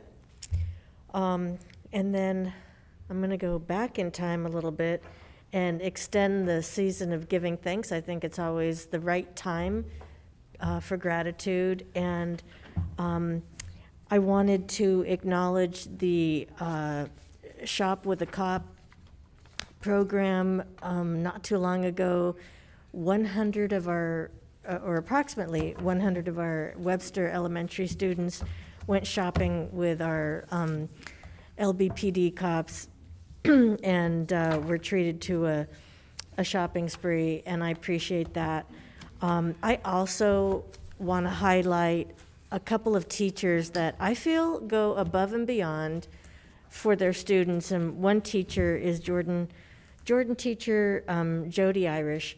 I was um, recently at um, Jordan for the uh, Camerata Singers concert, and I when I went in the auditorium, and it, it was my first time being in the auditorium for um, an event since the you know refurbishment, and it's gorgeous. And I went up the elevator. Um, I get special treatment where I go. I'm just kidding, but um, I went up the elevator, and when I walked out of the elevator on the second floor, it looked like I was at the Terrace Theater or the Beverly O'Neill Theater. It, it looked like I was at a different theater. I mean, it, it had this feel to it that was um, very bougie, and there was nice furniture and everything. In a good way, right, Ms. Craighead? In a very, in the best way. In the best way. Does that have a bad? I'm, I don't know what young people say, but I'm just kind of throwing words out there.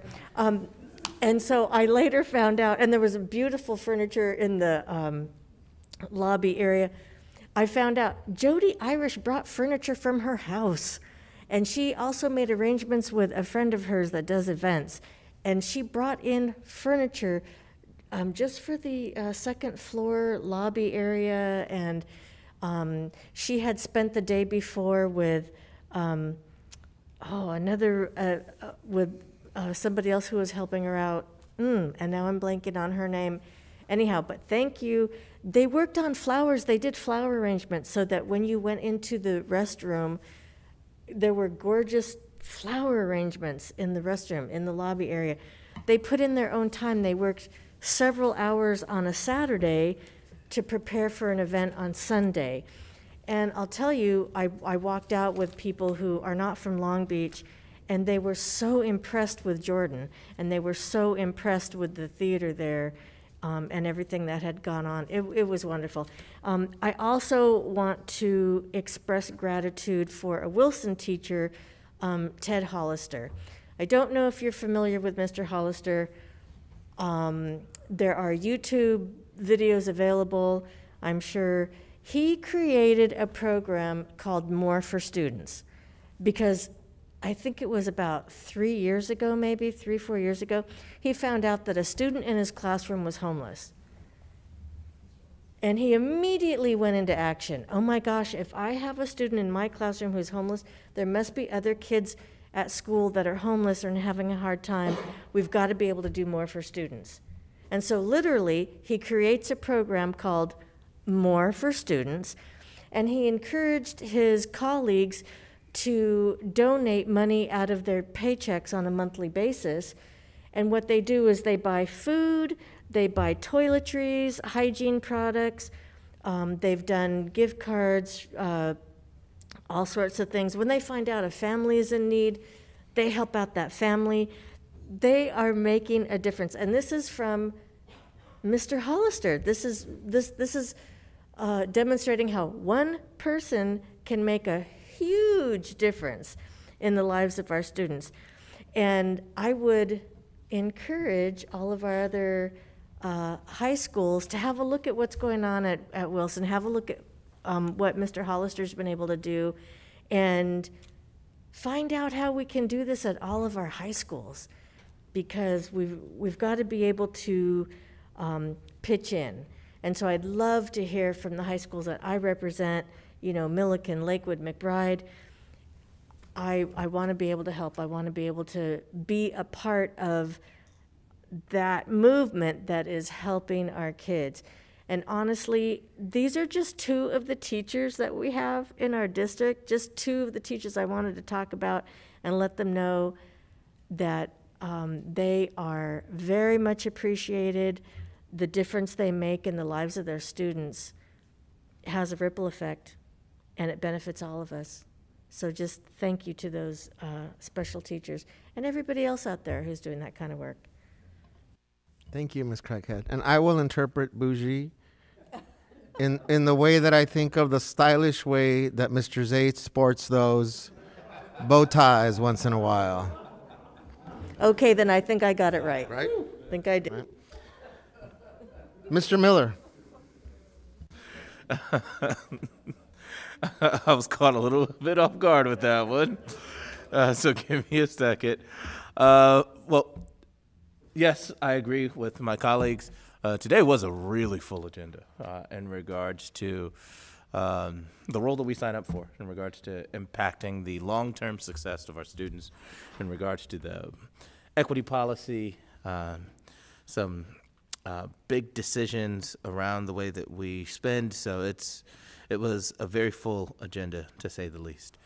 Um, on in regards to things that are going on in my district, first I wanted to give a special shout out to Long Beach Poly football team. Of course, they kicked butt again and took some names. Uh, was joking with my wife. I was like, so I've been to maybe four of the Poly games thus far, and I think I've seen a total of about 14 points scored by the opposing team. So I'm like, I might be the good luck charm. They probably can't score when I'm there. So anyway, um, uh, but they have an exciting game uh, this Friday, Saturday, uh, at Serra at 7:30. So uh, definitely excited for them. And Serra's a tough team. So uh, looking forward to them continuing their success and moving on to the next round. Uh, next, I wanted to talk about a pretty popular activity that happens in my district, which is the Long Beach Daisy Parade, hosted by Councilmember Uranga. Uh, uh, it is our little piece of the holiday season over there on the west side, and so it's uh, a good time for families to come out and see some fancy lights and get some treats. And so, uh, anyone who's interested in uh, spending a few hours uh, with their family this weekend on December 4th, uh, feel free to come out to Daisy. And if I'm not mistaken, it's Burnett is where the parade starts. And uh, check out some pretty cool uh, floats that come by. Uh, and then lastly, uh, I think I rarely talk to the students from the dais because I don't imagine that they're here, but maybe we have a few parents that are uh, watching today. And so when I, uh, I'm a mentor, like I've shared with you all before, and I've mentored hundreds of kids before this. And every time that I look at this period of the school year, I, probably need to stop doing this As I look at everything like a freaking sport, right? I look at it like sports. And so right now for students, I consider this like a basketball game. It's the fourth quarter. And in a basketball game in the fourth quarter, that's where you put a little bit more energy. That's where you follow through. That's where you finish the game. That's where the game's won and lost. So for our students that are doing okay academically and are maybe even behind on some things. Recognize this is the fourth quarter. This is that time period where it's time to step up, time to do those extra things so that you can achieve that grade that you've been working really hard to get. That's all I have. Thank you, Mr. Miller. Uh, Ms. Kerr. Yes, thank you. Um, I'm going to take my board report time today to lift up and honor Jordan High School and the Jordan High School football program. That's right. So they had their best football season in school history, which is 80 years. Um, they were two and two in the preseason, three and three in Moore League with victories over Compton, Wilson, and Cabrillo. They went three and one in the postseason. It was the first time they've won a playoff game since 1994. First time they've made it to the second round of the playoffs, and the first time they made it to the championships in their 80 years. So um, it's been an incredible run. So special thanks to Tim Wedlow, coach, assistant coaches Dave Ferguson, Alejandro Franco, Vic Robinson, Tiant Spears, Marty Wedlow, and to our team captains, uh, three seniors, Elijah Jones, King Manu Kala, ah, Manu Kala'a, who is a senior, Jerry McGurn, Jeremy McGurn, who is a senior, and Jacob Hernandez, who is a junior. We have some amazing seniors um, that we will miss, but we also have some pretty spectacular uh, younger players on the team. So there is so much more to come from Jordan's football program and their basketball program, which is kicking off as well. But I want to give special thanks to the North Long Beach community for lifting them up, for supporting them, especially the alumni from every decade who traveled to Irvine to go to this game. I saw folks from the 70s, the 80s. I saw um, a cheer megaphone from 77 and Letterman's jackets from the 80s and the OOs. And so, to all of the alumni who rallied around this young team, thank you so much. I was on campus on Monday, and the air is just electric. They're so grateful uh, for everyone's involvement and re engagement with them. They want to make you proud, they are very proud of themselves. Also, a shout out to Vice Mayor Rex Richardson, who's always been a great supporter of the school. Um, he was out at the games cheering on the sidelines, and he also sponsored tickets. Uh, he and I both sponsored tickets for the playoff game, the semifinal game, and the final game. Um, and so he's out there cheering for our great community. So I uh, beg you to stay engaged with them. They want to see you out on campus at their games. Uh, Miss Keisha Irving is doing spectacular work as a new principal there um, her team, Rachel and Michelle, and all of the Jordan uh, faculty who travel and support such a great event. I just want to say congratulations. We are so, so proud of you. Thank you, Ms. Kerr. Uh, I mean, scholar athletes, what more can you say? Uh, right? Uh, so,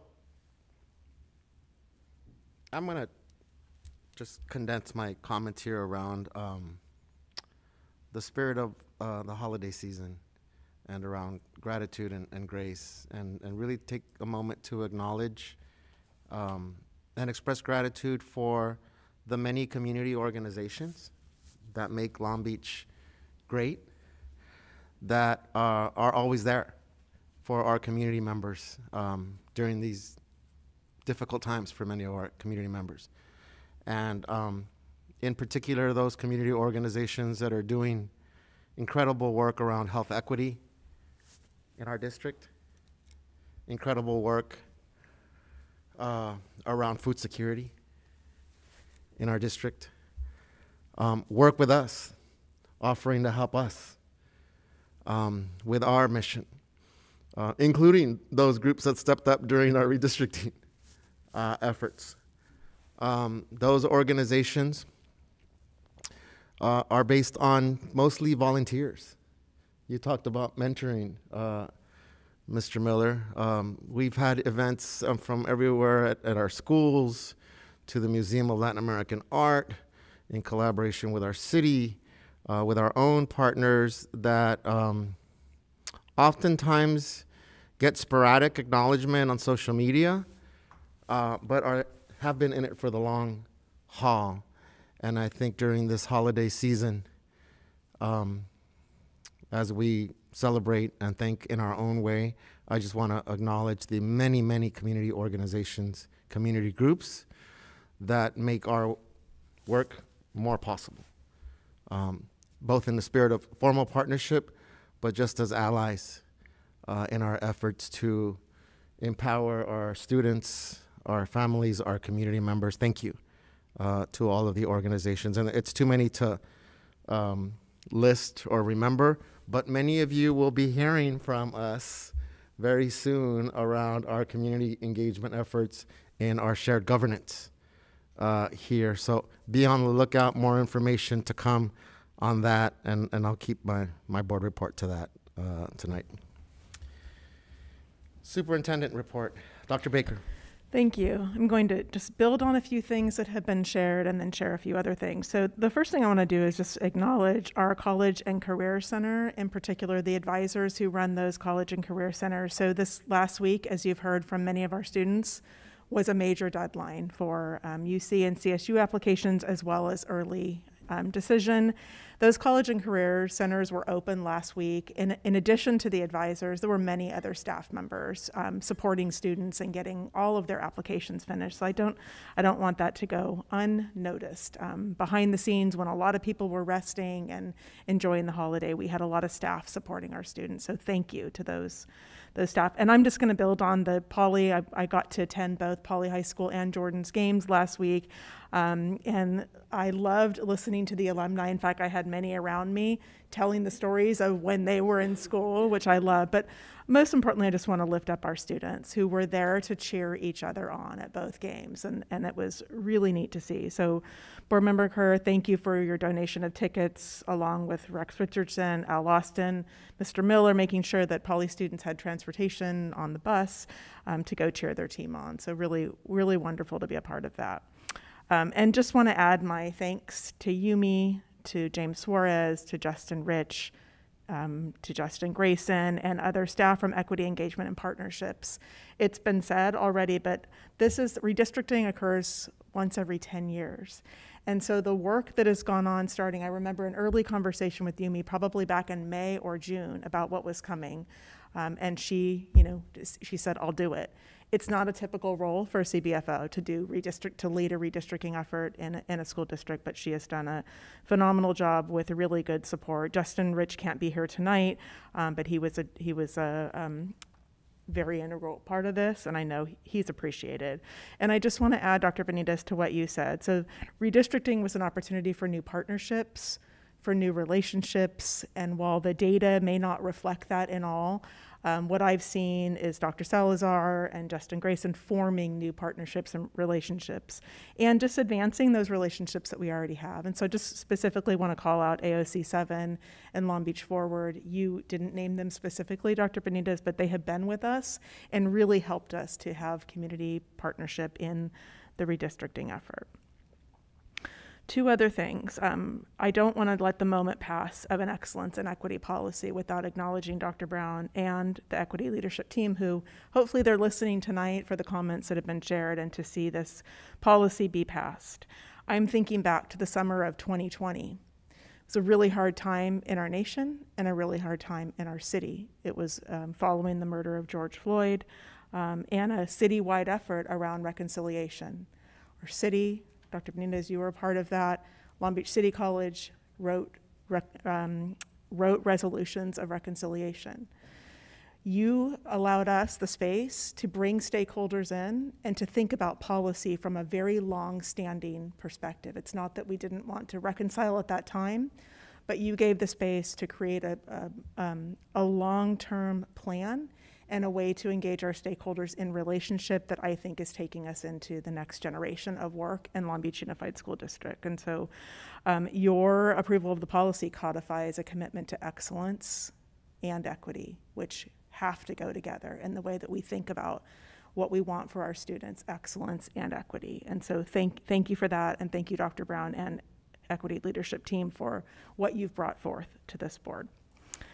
Lastly, I got to attend the Renaissance, the first performance in their new theater on Saturday, the 20th, heading into the, the break, and it was just a joyful experience to again sit in beautiful space downtown Long Beach to see students performing and to feel proud.